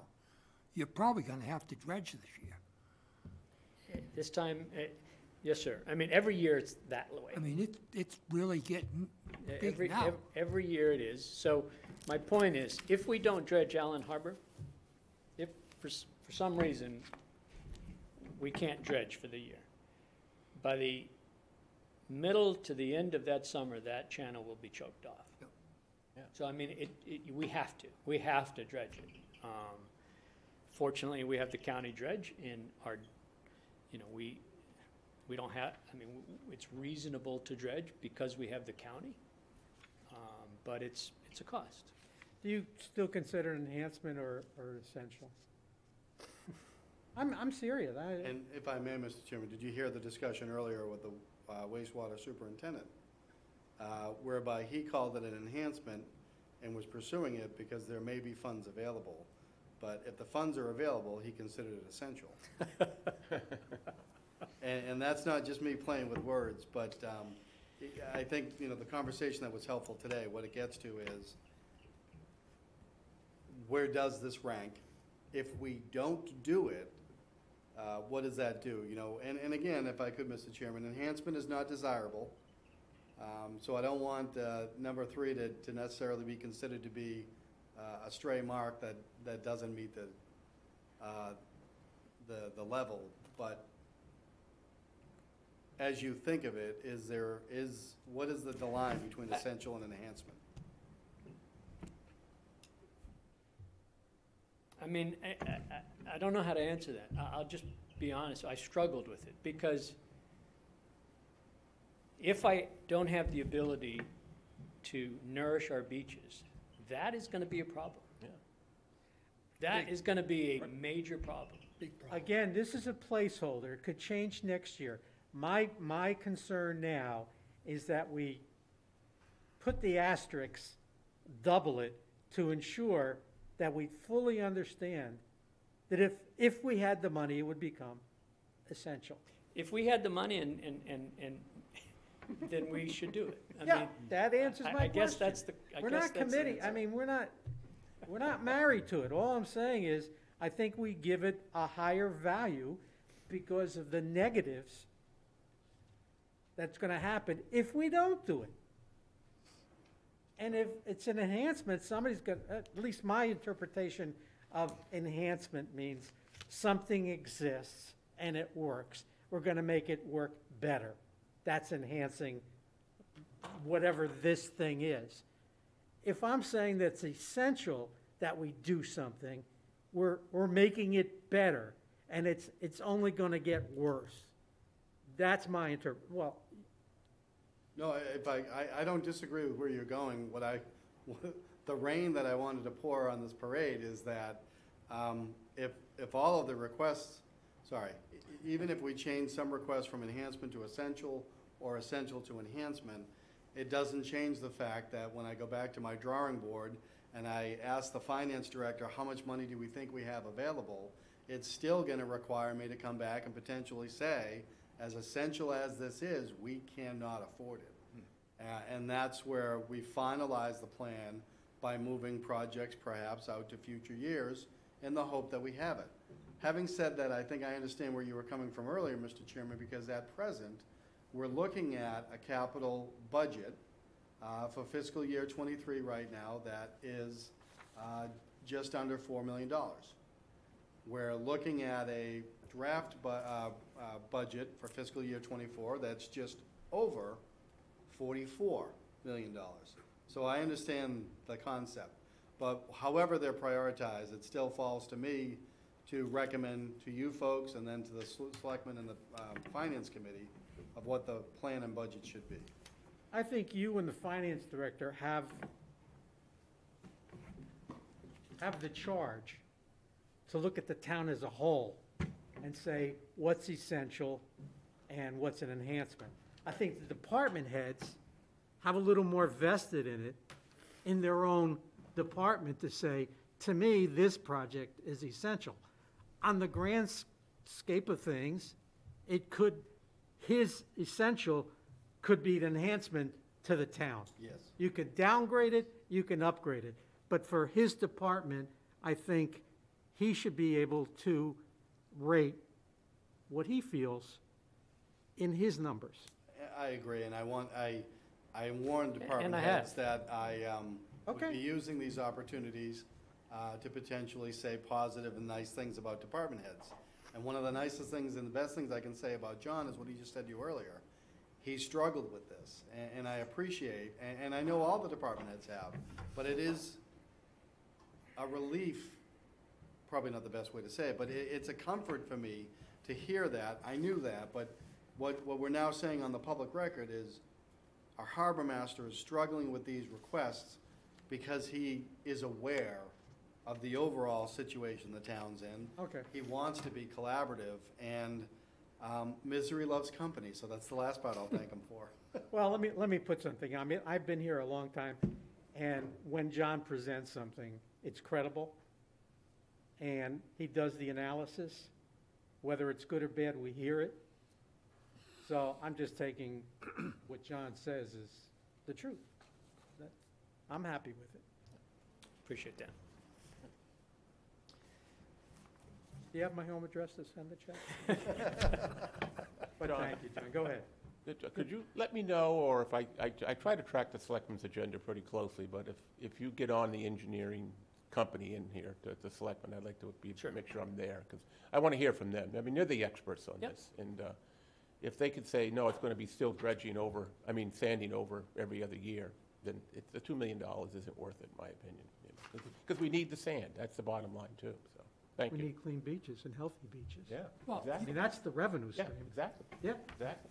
You can't stop the sand from moving from west to east. No, That's, and the southwest wind is the predominant wind, it's gotta move west to east. so why are we doing the breakwater? I remember when there was no breakwater there. Okay, thank you, John. anything else? No, sir, I'm good. I mean, I could talk. I've got dinner reservations, let's go. And it's four o'clock, I'm old, you know? Okay, so we'll move on to FY uh, '25. If I can, I have one project there listed. Um, It's, it's, it's money for engineering and permitting to redo the Herring River Boat Ramp. Um, Route 28, uh, it's one of our smallest landings, smallest boat ramps that we have. It's in horrible shape. It's, uh, we as I noted here, got some real good help from DPW facilities. Um, uh, Sean Libby and his group went in there um, almost, know, nine months ago or so. And uh, they, they did a, a real nice job putting a temp repair on that. And I think that's gonna last for several years. But, again, it's, um, it's not sloped properly, so, you know, it's almost like a horizontal pad that they put, so we still get boats getting hung up at low tides with their trailers trying to come out.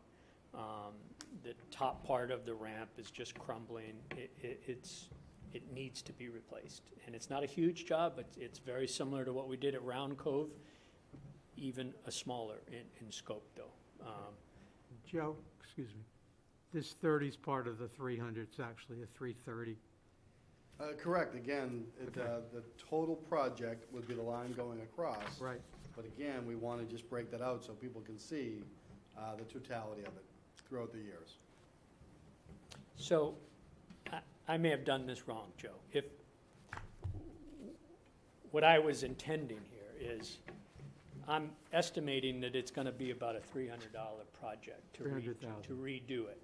So, when I, at least what I've been trying to do, usually engineering and permitting, you figure ten percent of the total project Correct. cost. Yeah, that's fine. So that's kind of what I did, so I, I separated the two because I like to have a year to do the design and permitting, and then the following year do the construction. Yeah. So I separated No, the you, two. that's You did it exactly what right. we're looking for. Okay, okay, Yep. The problem, for- the problem we're, we're- Yep. the problem we're avoiding is, if you just had the 30 there, it doesn't meet the requirement of 50.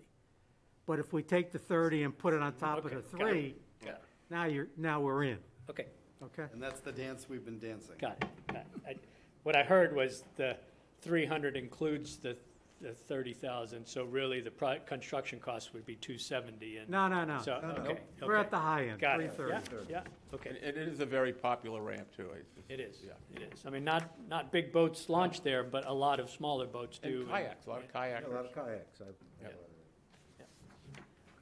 So moving on to uh, FY '26, uh, we've already talked about the vehicle, we put that in there, so I I- I don't think that needs any more discussion.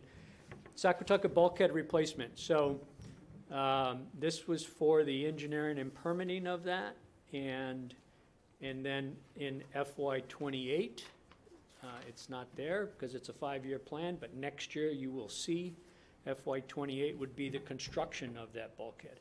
So just to give a little history, you know, we redid the marina, redid all our docks, dredged the entire harbor. Um, During that project, we had the engineers evaluate the condition of the bulkhead. It, it needs work. Uh, uh, If you've seen it, uh, concrete cap is cracked in several locations. We did do some repairs to the steel gussets that support the bulkhead um, as part of that project, which I think helps.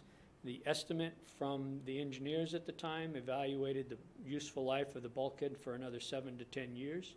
So I've put it on a, you know, it come year 10, we need to redo those bulkheads. Okay. And the way we designed the docks was such that we can come in without having to tear apart our dock system. We can drive those sheets right in front of the existing bulkhead with minimal disruption to our project. Okay, I have a question, and it's, uh, I don't know if it's Joe or you, but Wychmere, out, Wychmere Outer Harbor Dredge, Yes? are there any numbers to go in there? No, actually, that was uh, removed from the earlier version. It will be removed going forward. Uh, The harbor master and I confirmed this morning that Okay, so there's there'll be nothing, nothing with that. okay, Uh, I think that was related to uh, placeholder in future years. Okay. And there is none, There's- not in the five-year plan. I- I've taken it off the plan for a number Okay, of thank you. Yeah. Are we good?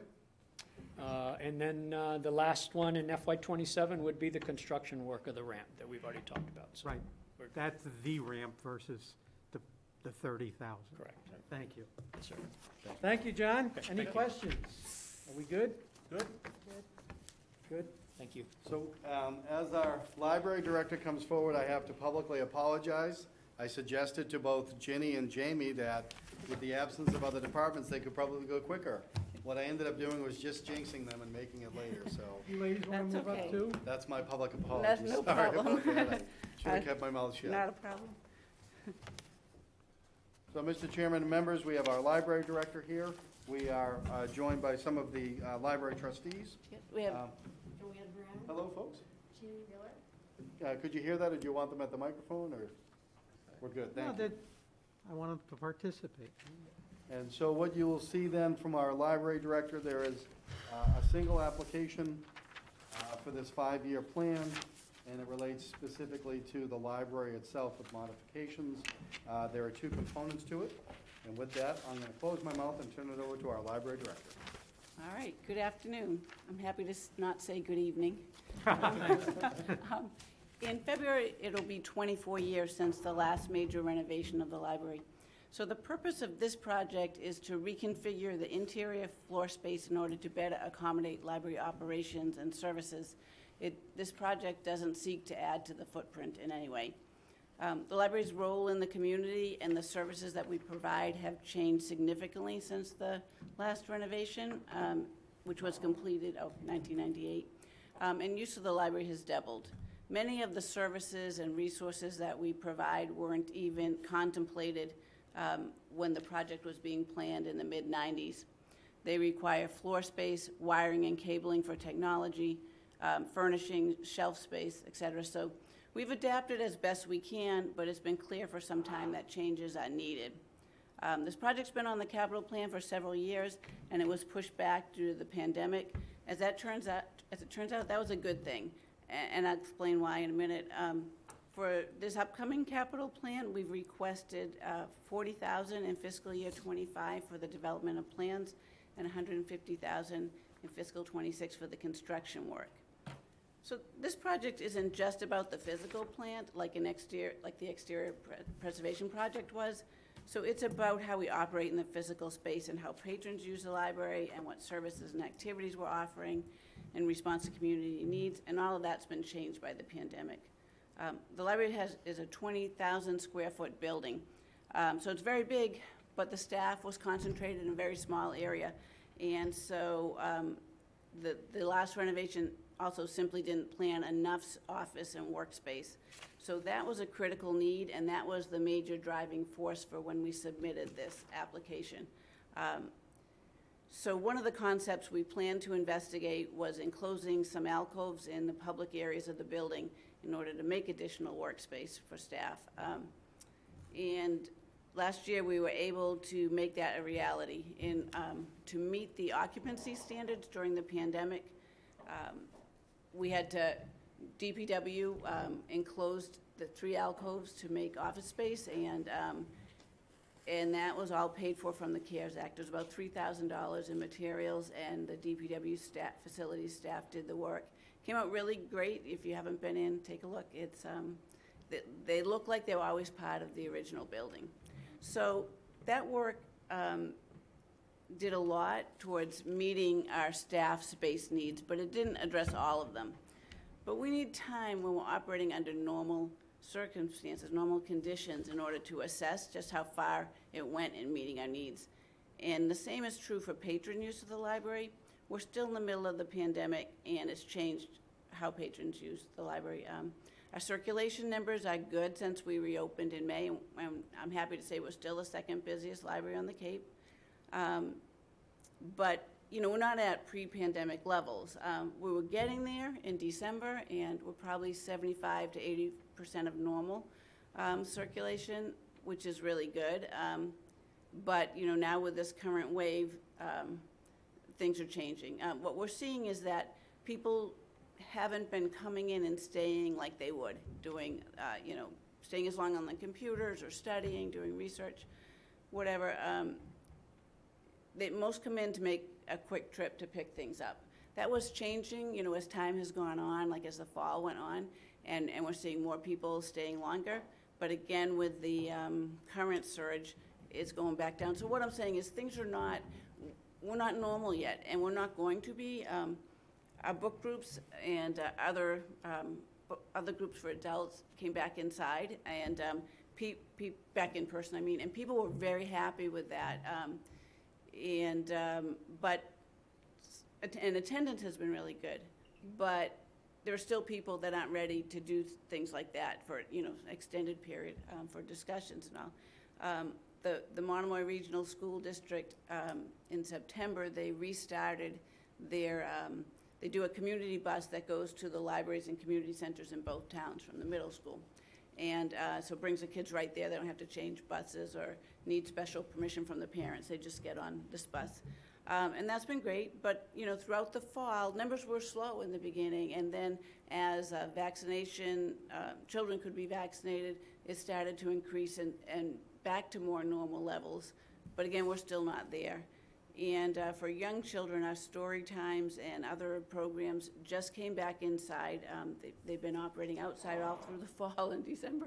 So they just started last week, and um, so I think it, it, we're, not going to know what normal operations is. Um, so I, I think my point in telling you all of this is to say that moving the interior reconfiguration project fiscal 25 and 26 is a good thing. Um, we recognize the critical needs the town has in trying to accommodate the backlog of projects caused by the pandemic. So, so pushing the, our project back a year, that helps the town, but it's not a selfless act, it helps us. Um, we need a year post-pandemic, which it seems like who knows when that is going to be, right? Um, um, to, to assess how things are, and I'm hopeful that fiscal twenty-three will be a more normal year, but I think it'll really be fiscal twenty-four, and then we'll see how things have changed, what patterns of behavior have changed and solidified, um, you know, what community needs are and what people want in library services, and how the building's operating for staff when we have everyone back in the building again. So, um, by the time that we do this assessment and develop plans in fiscal twenty-five, we'll have completed our next strategic plan, and that's also key, because those service priorities and, um, will be important in determining what changes are needed in the interior configuration of the building. So um, we appreciate the support this committee's had for the project, and, and I heard at previous meetings, there's what seemed to be some concern expressed about why this project was being pushed, pushed back. Like, um, And I, I just want to let you know, we're not being shortchanged, we didn't request this like under duress.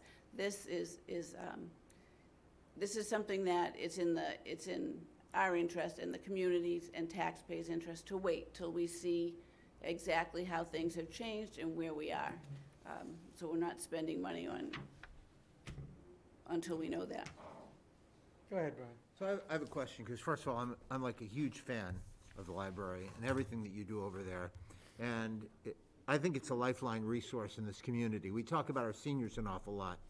To me, it's one of the fundamental things that's critical for our senior citizens. And access to the library, availability, the ability to, access the library, and also the resources available are critical. This has bothered me for some time, because it's been on the books for a long time. The, the thing that concerns me the most is that on your requisition, you have it marked as desirable. And I would think that many seniors like me, I've entered the senior citizen community a few years ago, you know, we would view this not as desirable, but it's really important. That, that space, I couldn't agree with you more. It, it will benefit from reconfiguration. Um, and it, it's funny you say that because I remember when I first built my house, one of the things I dreamt of doing was retiring and walking down to the, the library so I could read the papers. At my leisure, just sit and read all these out-of-state papers. I, I think this is a desirable thing. I, I, all the people I talk to in this community view the library as a vital resource, and when it was closed, it was backbreaking for many people. So I'd like you to explain the, the connotation of desirability rather than something that's really, you know, a critical, a critical function. Okay, so the reason, it- the reason I put desirable is, it's not critical to us right now for fiscal twenty-three. Like, this is not, I think, if we had the money for next year, you know, we wouldn't be spending it wisely. So, um, will it, I think it will move up in priority. I understand, isn't that part of what we would do next year? You know, if, if, would we change that priority at some Well, point? that, that's the ongoing struggle with what, what is meant by uh, the recent changes to the charter. So I think to the members' questions, the year in which it's needed, what prioritization would you give it for that purpose? Oh, Because we don't know what's gonna okay. be I- I allowed for thought- amendments I and understood things this like was, I understood this was to be what priority was it now? So I'm sorry, I At don't this have the requisition, I drop-down think menu. What are the other choices? So, yeah, the, uh, the priorities are, number one, legally required, Yeah. number two, essential, number three, enhancement, Yeah, I and think- number four, desirable. Well, I think it'd be an enhancement, yeah. I mean, unless we can't, unless they, you know, not predicting how things would change, could it be um, essential at some point? I don't know, like, eh, what, what things we're lacking. Like, I know there are some things we're lacking, but our ideas on what that is will depend on, depend- on the future. I- I'm not really sure how to answer that. I, um, I would say to you that the constituency that you serve would view this with a higher degree of importance than you're, you're respectfully assigning to it. Um, I think to downplay it is to potentially give it a kiss of death. I'd like that not to happen because I know the people that use this library.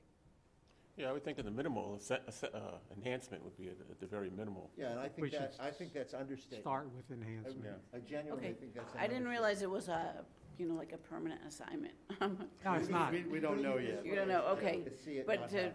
It's to be flex- sure, I it- should, It's flexible, but we think you should step it up. Yeah, so do The, I, o- the other thing is, you can update the form and just. y- you've been in front of us a lot over the years, and you've always downplayed the amount of work that you've put into the library, personally, okay? From the electrical system to whatever. And I think your, your work doesn't go away from our understanding of the success of the library. And I think, Brian, you're hundred percent right. This, this is the type of thing that you're gonna have, it has to be done. I mean. The facility is not matching the demand. Right. And why not? I mean, it, it's not a foreign language. We're not talking about, we're not talking about the network. We're not talking about the physical, what we went through with the electricity and so mm-hmm. forth. We're talking about how the building is in use. And I think we hear a lot about buildings not functioning the way they should be, or a better way for a building to function. We hear it all the time. And there are buildings that we address every time we meet, and we question why, and there's no good answer. You've addressed the issue that the building is not meeting the requirements of the population, whether it's currently or the way the population is changing. And you've got an, a, a way to fix it. I, I don't have a problem with it. I think that's a wonderful analysis, and you're presenting it to us. And I think Brian hit the nail on the head by upgrade th- the value of this request. And again, it's a department asking for something not essential, but enhancement. And I think when you drop it to desirable, it's like saying, you know, if I took the parking spaces that are next to the building and I made the town administrator take the first spot, the assist, assistant town administrator take the second spot, rather than handicap, handicap, handicap.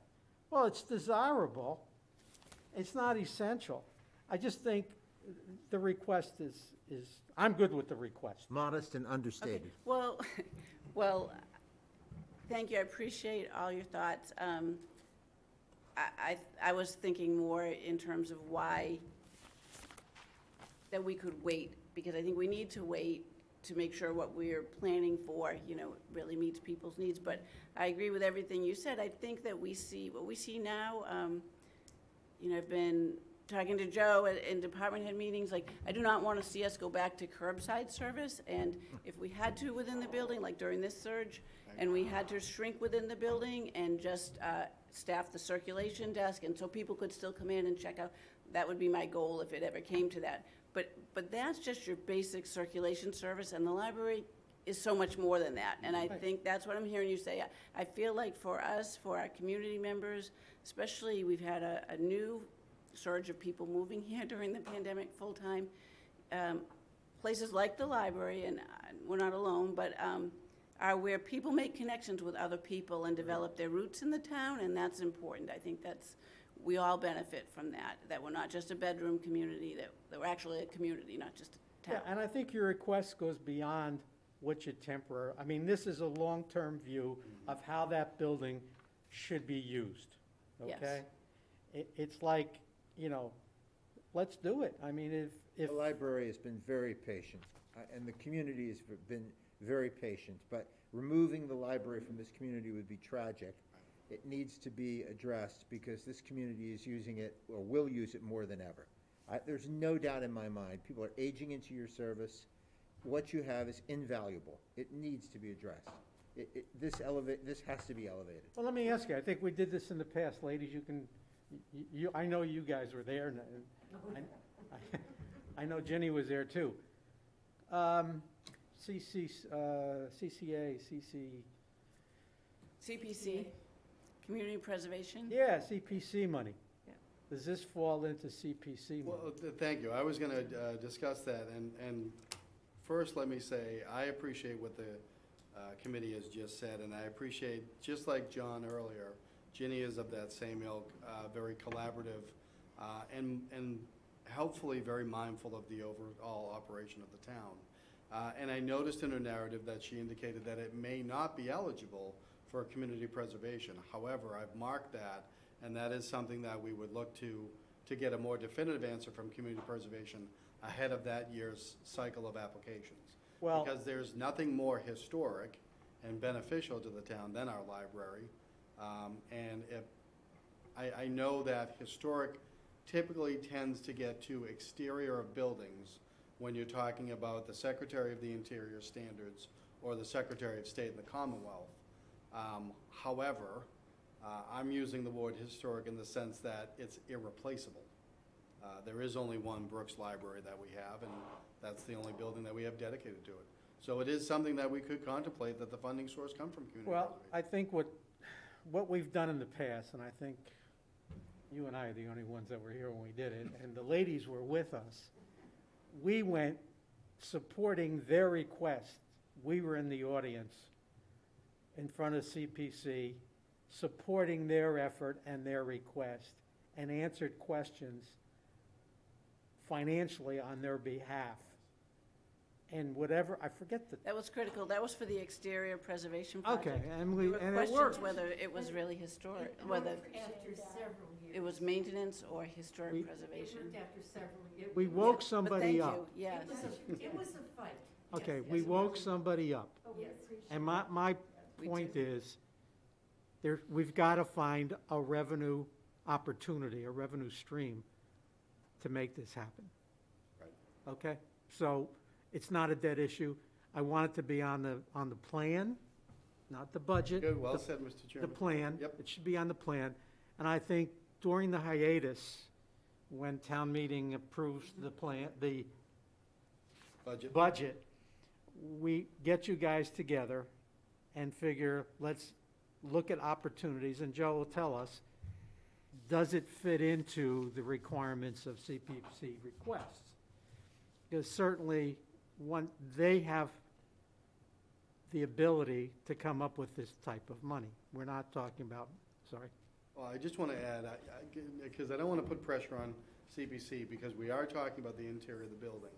And for me, and I, and I've read Ginny's uh, responses to other grants that may not be available, but what I'm struck by with this application and, and the, the way that it's been managed by our library director is she relied upon, I'm always getting mixed up now, but CARES Act money, when it was available, to make sure that the library could operate safely for patrons and staff, which was a, a way for us to forestall this program. I look at that effort for interior modifications of that building no different than I'm gonna have to do for all of our buildings in the future. And that is make sure, are our buildings safe for the next pandemic, uh, or for the next health consideration or anything else that may come along? And I think Ginny, as she often is, is at the forefront of that discussion before it's really coming up. So it may not be CPC, but it may be other grants that are available. Because we're looking at this not only from an enhancement to the building, as we've called it, but really an enhancement for the safety and security of our patrons and our staff, and a more efficient operation. And so that really touches on all the bases that you want a capital program request to hit upon. Well, I think with your input and your effort, you can make it work. And last but not least, I need to put out there on the record that our library director, uh, knowing that I wanted to have my, my laptop accessible, not having the technology yet, believe it or not, for me to use my town laptop on the network, I asked for a hotspot, and not only did the library director bring one over, she looked me up as a user, and I now have this checked out for a period of time, So he's Um, accountable. which I think is fantastic. You got a card? Um, I absolutely. I went to find my card and she Oh, said just- she knew me and she looked me up and I was in the system. So, If you- um, but I just You think do that's a know that wonderful if it story. doesn't get returned, it Yes, eventually, ma'am. we deactivate it, And- so you. How much That's- That's the overdue way is we he? get them back. And now it's on the record that I have Jenny, what one. does the account look like? How much is he overdue? No, he's not. I He's believe not. I'm up to date. What I mean is, uh, the hotspots, naturally, people want to keep them. They give you free internet access, Yeah. you know? Um, So naturally, people want to keep them in when, and when that, you know, they may ignore, you know, emails and calls about it. But when you deactivate them, then they come back, because it's not any good to anyone I know. there. But for the So, record, right. I appreciate that collaboration, but also um, she treated me as a customer in the best possible way, and I love that. So, What I'd like to do, okay, again, this hiatus in between town meeting and we'll- at least this committee doesn't start really hopping September, October. Maybe in that in-between time, we can meet and the committee members can, and Brian will lead the, lead the troop. Go over and look at the, look at what the request is Absolutely. physically look like, because it makes life a lot easier. What we used to do, Joe, and you weren't around at that time, this committee on requests, like for the beaches, mhm. for, for docks and whatever these guys use and boating and so forth, we took the community center bus, and we'd have bus trips yes. and we'd all get on, and we look at what the request was. And certainly, this would be a perfect venue Agreed. for this committee to go and look at what do we need to do to make it easier and better for our citizen, for our town citizens, residents, to, to make it work. So, Joe, just one question. Um, What you were saying a few minutes ago made me think, are you thinking this could be something for these ARPA funds, or? Um, Looking in the direction of our finance director, I don't believe so, No, because it's not that kind of infrastructure. Okay. Um, But what I'm talking about is trying to emphasize why, uh, when we look at our buildings, so, so it's somewhat unfair for you, you know, y- y- it shouldn't be that you're left alone taking care of the library, and I hope you don't feel that you are, Yeah, because that's the yeah. partnership of administration. Sure. But I have a responsibility to look at all of our buildings and say, are they healthy, are they safe, Mm-hmm. are they efficient? Um, And so it's that mindset that Okay. there may be funds elsewhere that we can uh, rely upon. Wh- Who knows, we may be able to craft a message that matches with community preservation. You know, Okay. she, Ginny has worked with different hats on during her tenure as head librarian or whatever, director of the library. And, you know, she's got a tool belt and everything else. Not and- anymore. And she made everything work, and she still came to us and presented things perfectly. So I have no doubt that whatever, I want to get it on as these, as these Sure. hold- holding positions, and we'll, we can find a methodology of funding Mm-hmm. her request. Okay, thank you. So, Joe, I should resubmit the same form Um, with to Make some changes, send it to me, and I'll Okay, keep it in the all right, records. thank you. Yeah, change the, uh, Yep. basically change the priority. I I also have to say, though, centralized maintenance was one of the, you know, uh, one of the best things that happened in the You needed it. 21 years I did, you know. We I got you did. what you needed, I told you. Yep, thank you Thanks, so Ginny. much. Oh, Ginny, here you go. All right, So, thank Mr. you. Chairman, um, Thank you, ladies. perhaps before the, uh, thank you, folks. Thank you. Before our uh, Channel 18 station manager comes over, if, if you wanted to, first of all, again, apologies to Jamie, I told her we'd be quick. Um, But I'll also tell you that um, Jamie's application, everything about what the station man, uh, excuse me, Channel 18 manager is gonna speak to is the simplest thing that we can talk about. Because what she has is an ongoing, uh, well-maintained plan of uh, either either utilizing equipment for transparency purposes for meetings or updating that equipment.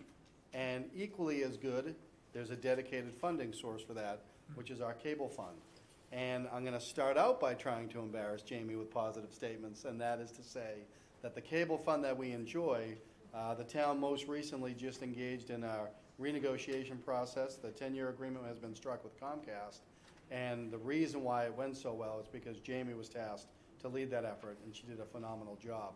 So for me, this application is for her to bear the fruit of what she accomplished. Having said that, the floor is, I will yield the floor if I could, Mr. Chairman, to our director.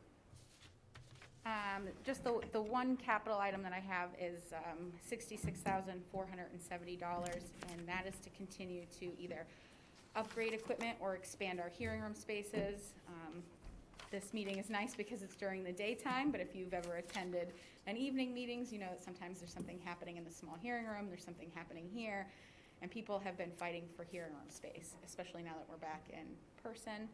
Um, so I would like to use this fund to either expand to, uh, a spot at public safety or the cultural center if that trial is ever expanded. So this would just allow Caleb, myself, and hopefully by the end of this month, a part-time videographer to car- start covering more meetings, uh, with video and audio equipment.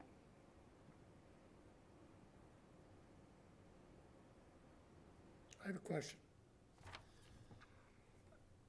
When I turn on my TV, I get channel 18. Is there any way I could get that program in high definition? So part of our ten-year contract that we recently just signed with Comcast and the Board of Selectmen just approved uh, three weeks ago, we will be a designated HD station. So from the time of the Board of Selectmen appointing um, government, because where there's public, there's education and government, that all falls under that one 10-year contract. We now have 36 months to get together with Comcast and make our station high definition. Now, if you are a Roku, Roku user, R-O-K-U, or an Apple TV user, you can watch us live and on demand in high definition, and it is really nice. That's how I'm watching the station at home in Dennis. So, So yes, with more to come. yes, Okay. yes, in the Three years. future. So it still has to say, has to come through in analog and not digital? We're currently analog, correct. Okay. And that is because of the limitations that Comcast imposes on us. The school is analog and currently public access is analog. 'Cause the picture quality will be much better when you get to high Oh, you're gonna be able to see every pore. I have a- The uh, sixty-six thousand that's requested, is that part of the total package? In other words, it's a one-shot deal? So I believe for the five-year plan, that brings you up to date, was that correct? Let me just pull it one. In other Yes, words- because uh, last year I did have some warrant articles that were approved, and I'm trying to do a replacement schedule, so the Griffin Room first, small hearing room second, the studio at community center, and then we'd go back to public safety and cultural center. So we would have to update this, uh, this location or this equipment again in the next, Okay, so Five the cent years. five-year request is hundred and seventy-one thousand. I'm looking, I'm, I'm adding across, adding across. and like the second year is only four thousand, and then Oh, yes, 2024, yes, I do see that. That would be um, replacing some field production equipment, so when we go do the town band, or we're doing something out and about around town, that we replace those field equipment Well, cameras. Again, we get to this issue, Joe, about are we gonna bump in next year and just say, well, we're requesting four thousand dollars, and I'll tell you, take it out of the operating budget. And So then- Jamie and I had that discussion, and that's one of the things that I struggle with. Um, Because Jamie has a dedicated funding source, uh, if you will, um, which is a wonderful thing, and again, is the, is the fruit of negotiations. The way that I look at the Channel 18 request is there are two categories, that's main control equipment versus uh, equipment, meeting rooms, and field equipment. And so when you look at that going across, the four thousand dollars in one year is a part of a five-year plan that exceeds fifty thousand dollars. In other words, I would argue that you cannot accomplish the plan, the project probably is the better way to say it, now I'm confusing myself. Plan is what we're talking about for the five years, budget is what we're talking about for the one year, project is what is encompassed within it. So she has a project that co- covers five years that totals more than hundred and seventy thousand dollars. Correct, One of the items within that, given how she's budgeted, right. is under fifty thousand. And I don't have a Just like the prob, I don't have a 42,000, problem right. with that, okay. Now, again, that's my statement today. Uh, I hope not to be challenged legally, because then we're gonna have a bigger discussion. And when I say legally, I don't suggest this committee, I mean What, others. what is town. the revenue stream from Comcast to Harwich? It's a percentage of uh, subscriber fees, so The it ch- revenue derived. Yeah, was- It changes. Uh, But, Two hundred dollars a month? no, no, No, Give me no. It was about Um, ninety thousand last year, wasn't it? More than that, I believe. It's tens of thousands. They pay us quarterly. um, And Harwich has had really good subscriber numbers historically. We hover around 8,500 people for the past 10 years. So we've been getting a con- a consistent amount of money, and we don't usually spend all of it, so. Yeah, I need to know what, or I So want to if, know what, if you look at the bottom of your, um, budget form, uh, tho- that's one of the few numbers I was able to update.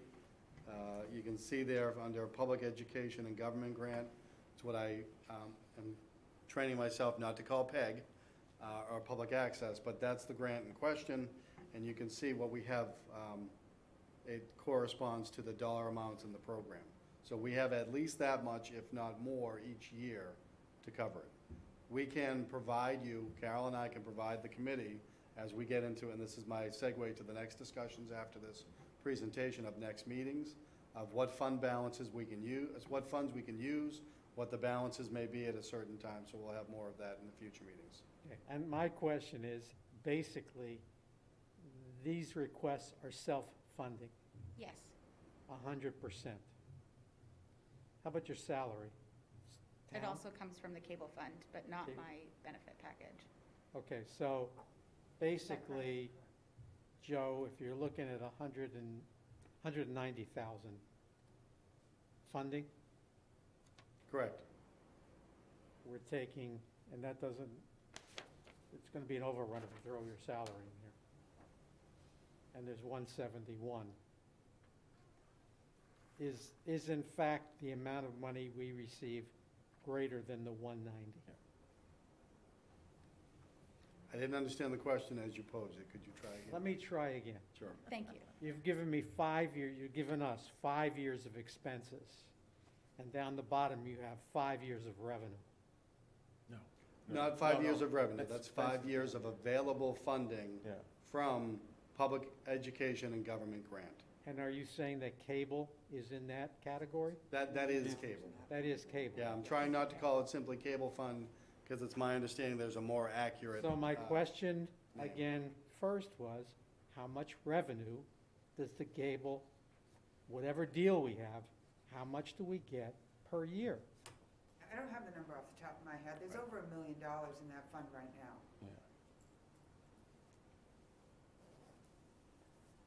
Okay, I mean, if you guys, I, I-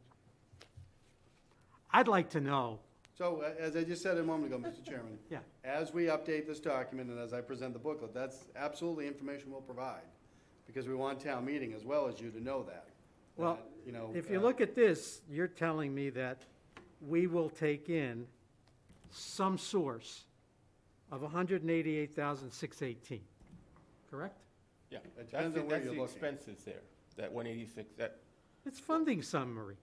yeah, That's money that's sent to us. Right, what, the. Not what I'm taking- expenses. it is. What I'm taking expenses. from that, Mr. Chairman, is the funding source Yeah, that we will rely upon in part for those five I'm years trying to look up includes now. the cable, quote-unquote, cable fund or public education and government grant that we get from Comcast. Right, And we will use that uh, to support every request of um, Channel 18 for each year. and where does that money come from? The fund that we just talked about, that we will get the full balance to you at a future No, no, date. no. Where does the one eighty-eight come from? From the public education and government grant known as the Cable Fund Grant from Comcast. Paid for Could that by, be considered a revenue stream to the town? it is a revenue stream. but it Where's ha- the expense? this is, the I think, we'd- expense, I think we'd be better off relying upon the finance director who can answer better, because what You're I'm not getting, telling me that, what I'm getting tripped up on is the word revenue. When I think of revenue, I think of uh, receipts received from customers coming in and buying a dog license or things like that. Um, It's not revenue in that sense. It is funds provided by a negotiated contract right? that is required by, I think, federal code to be earmarked for the purposes of public education and government. Somebody send us a check, Yes, that's the, that's the quarterly payment that Jamie made reference to, that, and that's quote-unquote revenue to the town. Yeah. I understand the usage. yeah. No, I'm just saying, quote-unquote, it's the revenue. Where do you come up with expense?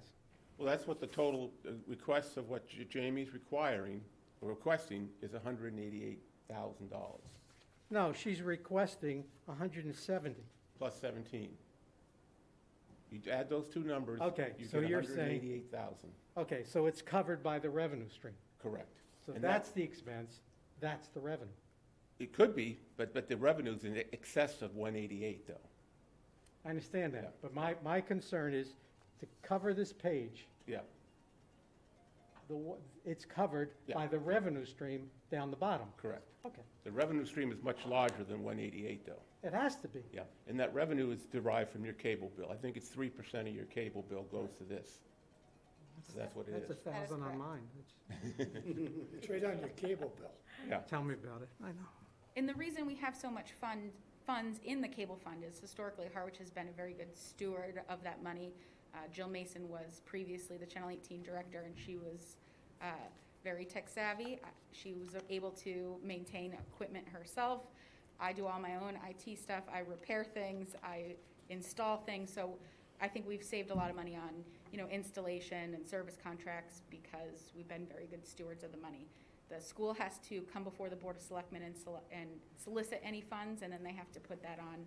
Now, we, we are tied to the cable company. We certainly are, but we only have that one cable company. And there's some legislation right now, because everybody's cord cutting, um, and towns and local municipalities will be able to continue getting subscriber fees from, uh, internet, um, Providers. customers. Yep. the PEG account is like a CPC account. That's what it is. Yeah. Yeah, so you pay a percentage of your property taxes, go to CPC, percentage of your cable bill goes to PEG. Well. Seven, one.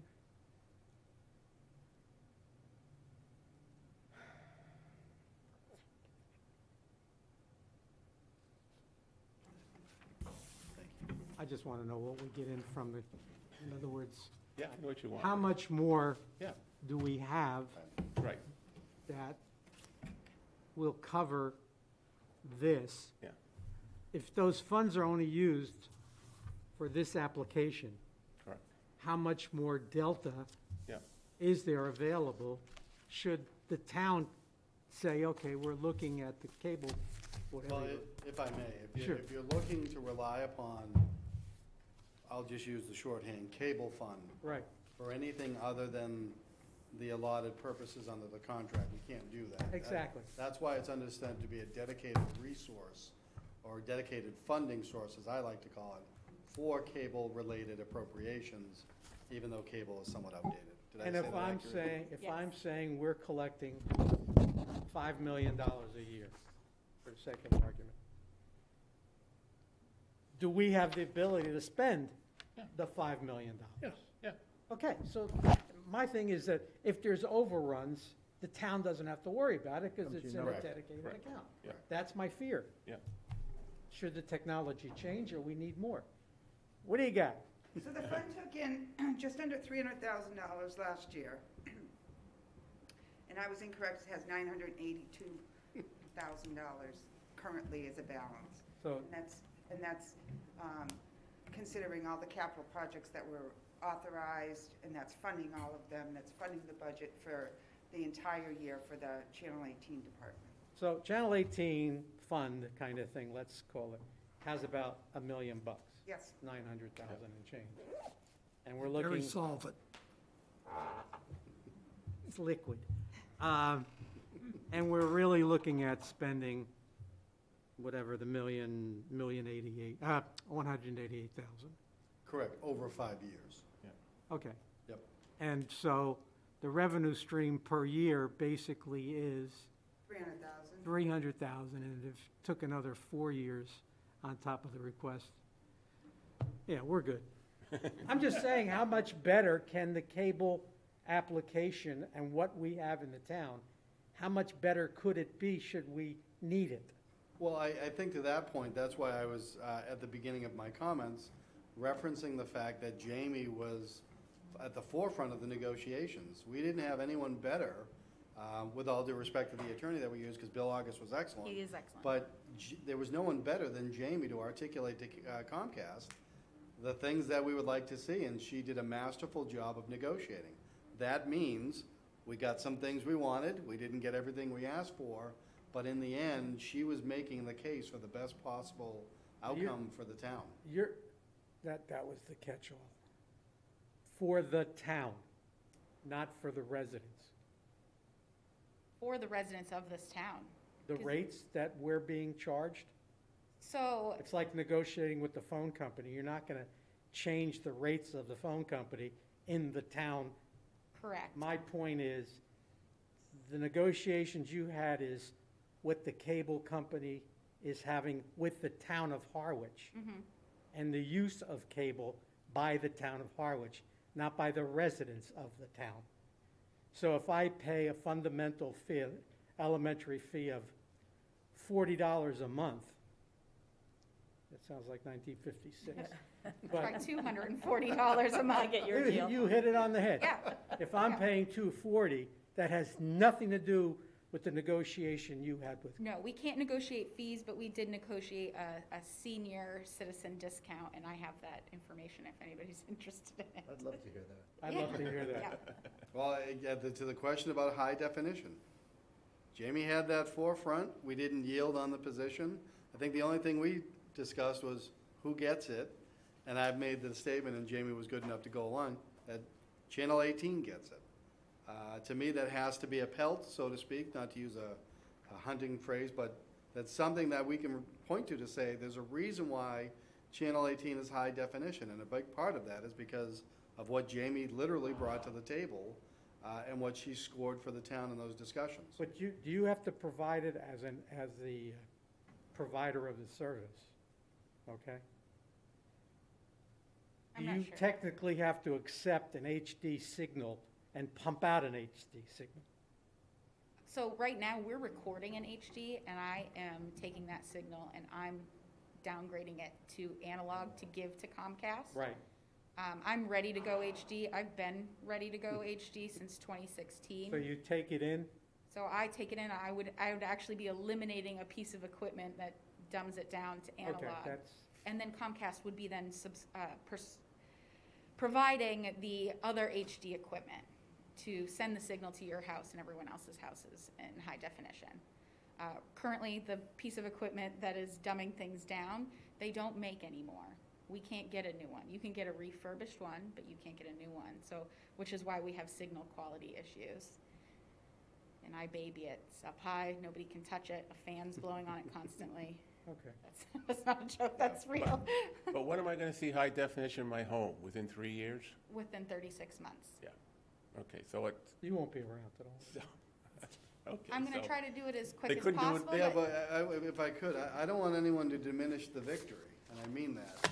Uh, The fact that it's only going to be within 36 months is a good thing, because the other prospect was we we wouldn't have achieved it. Yeah. Uh, So it would have been greater than 36 months. So I How want to many other make towns sure on the Cape are HD? that, that one of the messages that comes out of this is what we gained. none currently. Uh, Okay. we were the one of, the- one of the first towns to That's solidify good- our that's- contract. That's a good so- move. That's- So we're ahead of most municipalities at this point. Sounds better without a Well, mask. considering but that- It's recorded. Yes. There's no competition, there would have been if Verizon pumped up and came out with. Oh, don't get me started on that. I- We I would have couldn't more agree funding. If, Right. if Verizon provided cable services here, we Yeah. would be seeing more subscriber fees. I came from a town that had four cable providers, plus the town providing broadband, so.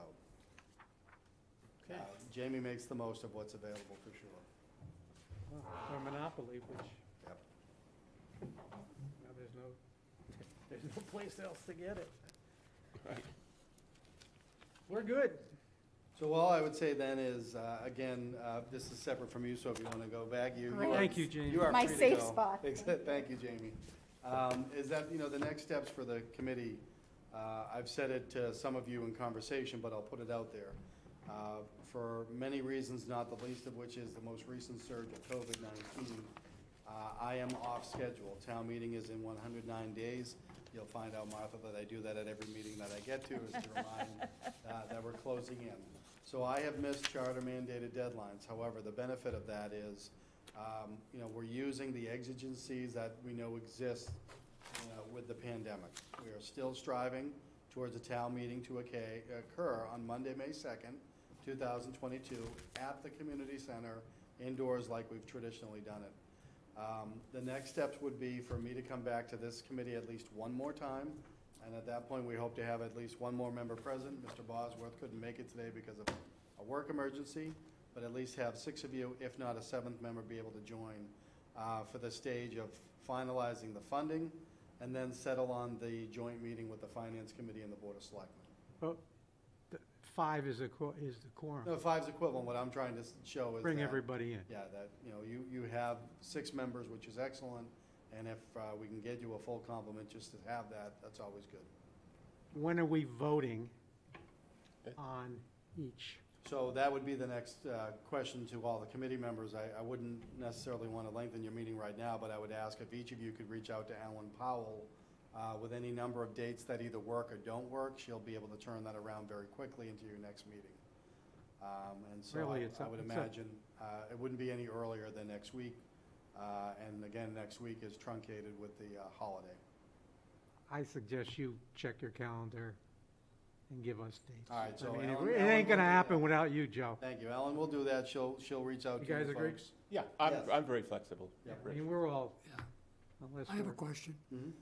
When we meet again, um, will we have a good feel for which items CPC has approved?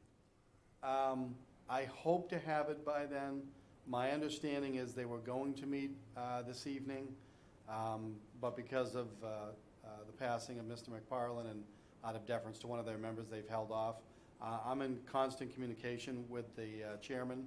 Uh, I know if nothing else, we can tell you what they've already approved, because that is available, so I can add that to the materials. Okay, Um, What I'm trying to get to is the final form of what I've been promising you. Again, I'm working off of um, one spreadsheet uh, in a document that's seven spreadsheets, and that's how much information I want to provide.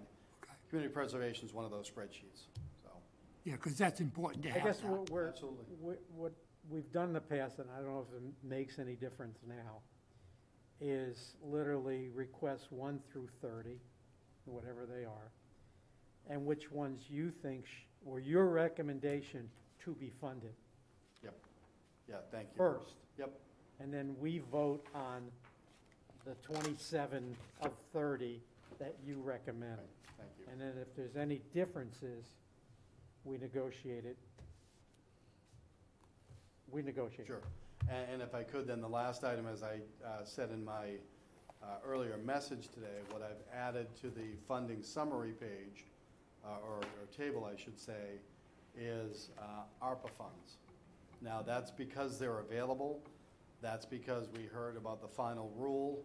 Um, It may impact upon this plan. I truly don't know at this date and time if it is going to, but I want to just emphasize that we may be able to rely on those, or, I think more likely, we may have some items that may be removed from the plan because we have funds available to do something, and we have the final rule that says an appropriation is not necessary. So I just want to put that concept out there, but it is extremely early in the development stage of that and very preliminary. But wanted you to hear it directly from me. Okay, so there's no timeline with you guys? You and the select? Well, we're waiting for, for things to happen, yeah. We're waiting for this committee to approve the capital budget, to hold a public hearing. Waiting for Joe for an operational budget so we can start deliberating on that. That's something different. Yeah, so there are a lot of things.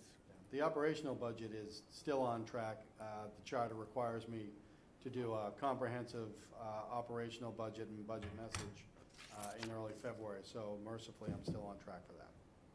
Yeah, I mean, I, I don't see any, any hazards or any obstacles in presenting to, to the Board of Selectmen and Finance Committee. I mean, do you guys see anything? Other than it's, just- it's past due, that's all. Yeah, Tell me yeah, about it. that's the only obstacle. If you can fix that, I can't fix it. pardon? I can't. I know you can't, and uh, Brian, can you, since you're, No, I I don't think anybody on the Finance Committee is that adept that they could fix the time factor. The fact is that I think everybody's live, you know, working under more liberal circumstances and more flexible. I mean, it's just, It have to be. it just has to be, as long as, as long as we're ready, I mean, they modify the, you know, the calendar or whatever that's, we've been living under, which becomes an obstacle. As long as we're ready for, for the meeting and the Well, it, it cuts down on deliberation and examination, that's the thing, Rich. You know, if, we- we should have been looking at this capital budget for the last two or three weeks, and we haven't. My committee has not. So that it just cuts, it compresses that por- portion of examination. But the issue is, should you have met as the Finance Committee, you should have brought some of the questions that you've had as committee members to this meeting. We had nothing to, to discuss. We had no capital budget. But you've had, you've had requests and so forth. No, we haven't. We have no, we've We had, just, we just went two weeks ago, we did half of this. but that's, it's not approved. It's not approved. Nothing's been voted on. Just discussions, Yeah, but I can't discuss what might not be happen. no, I have to have a public hearing. And that's after we Okay. get an approved budget. no. Would you like a motion to, to adjourn? Yes, please. Like to make a motion to adjourn Second. At three thirty-two. Thank you. Good.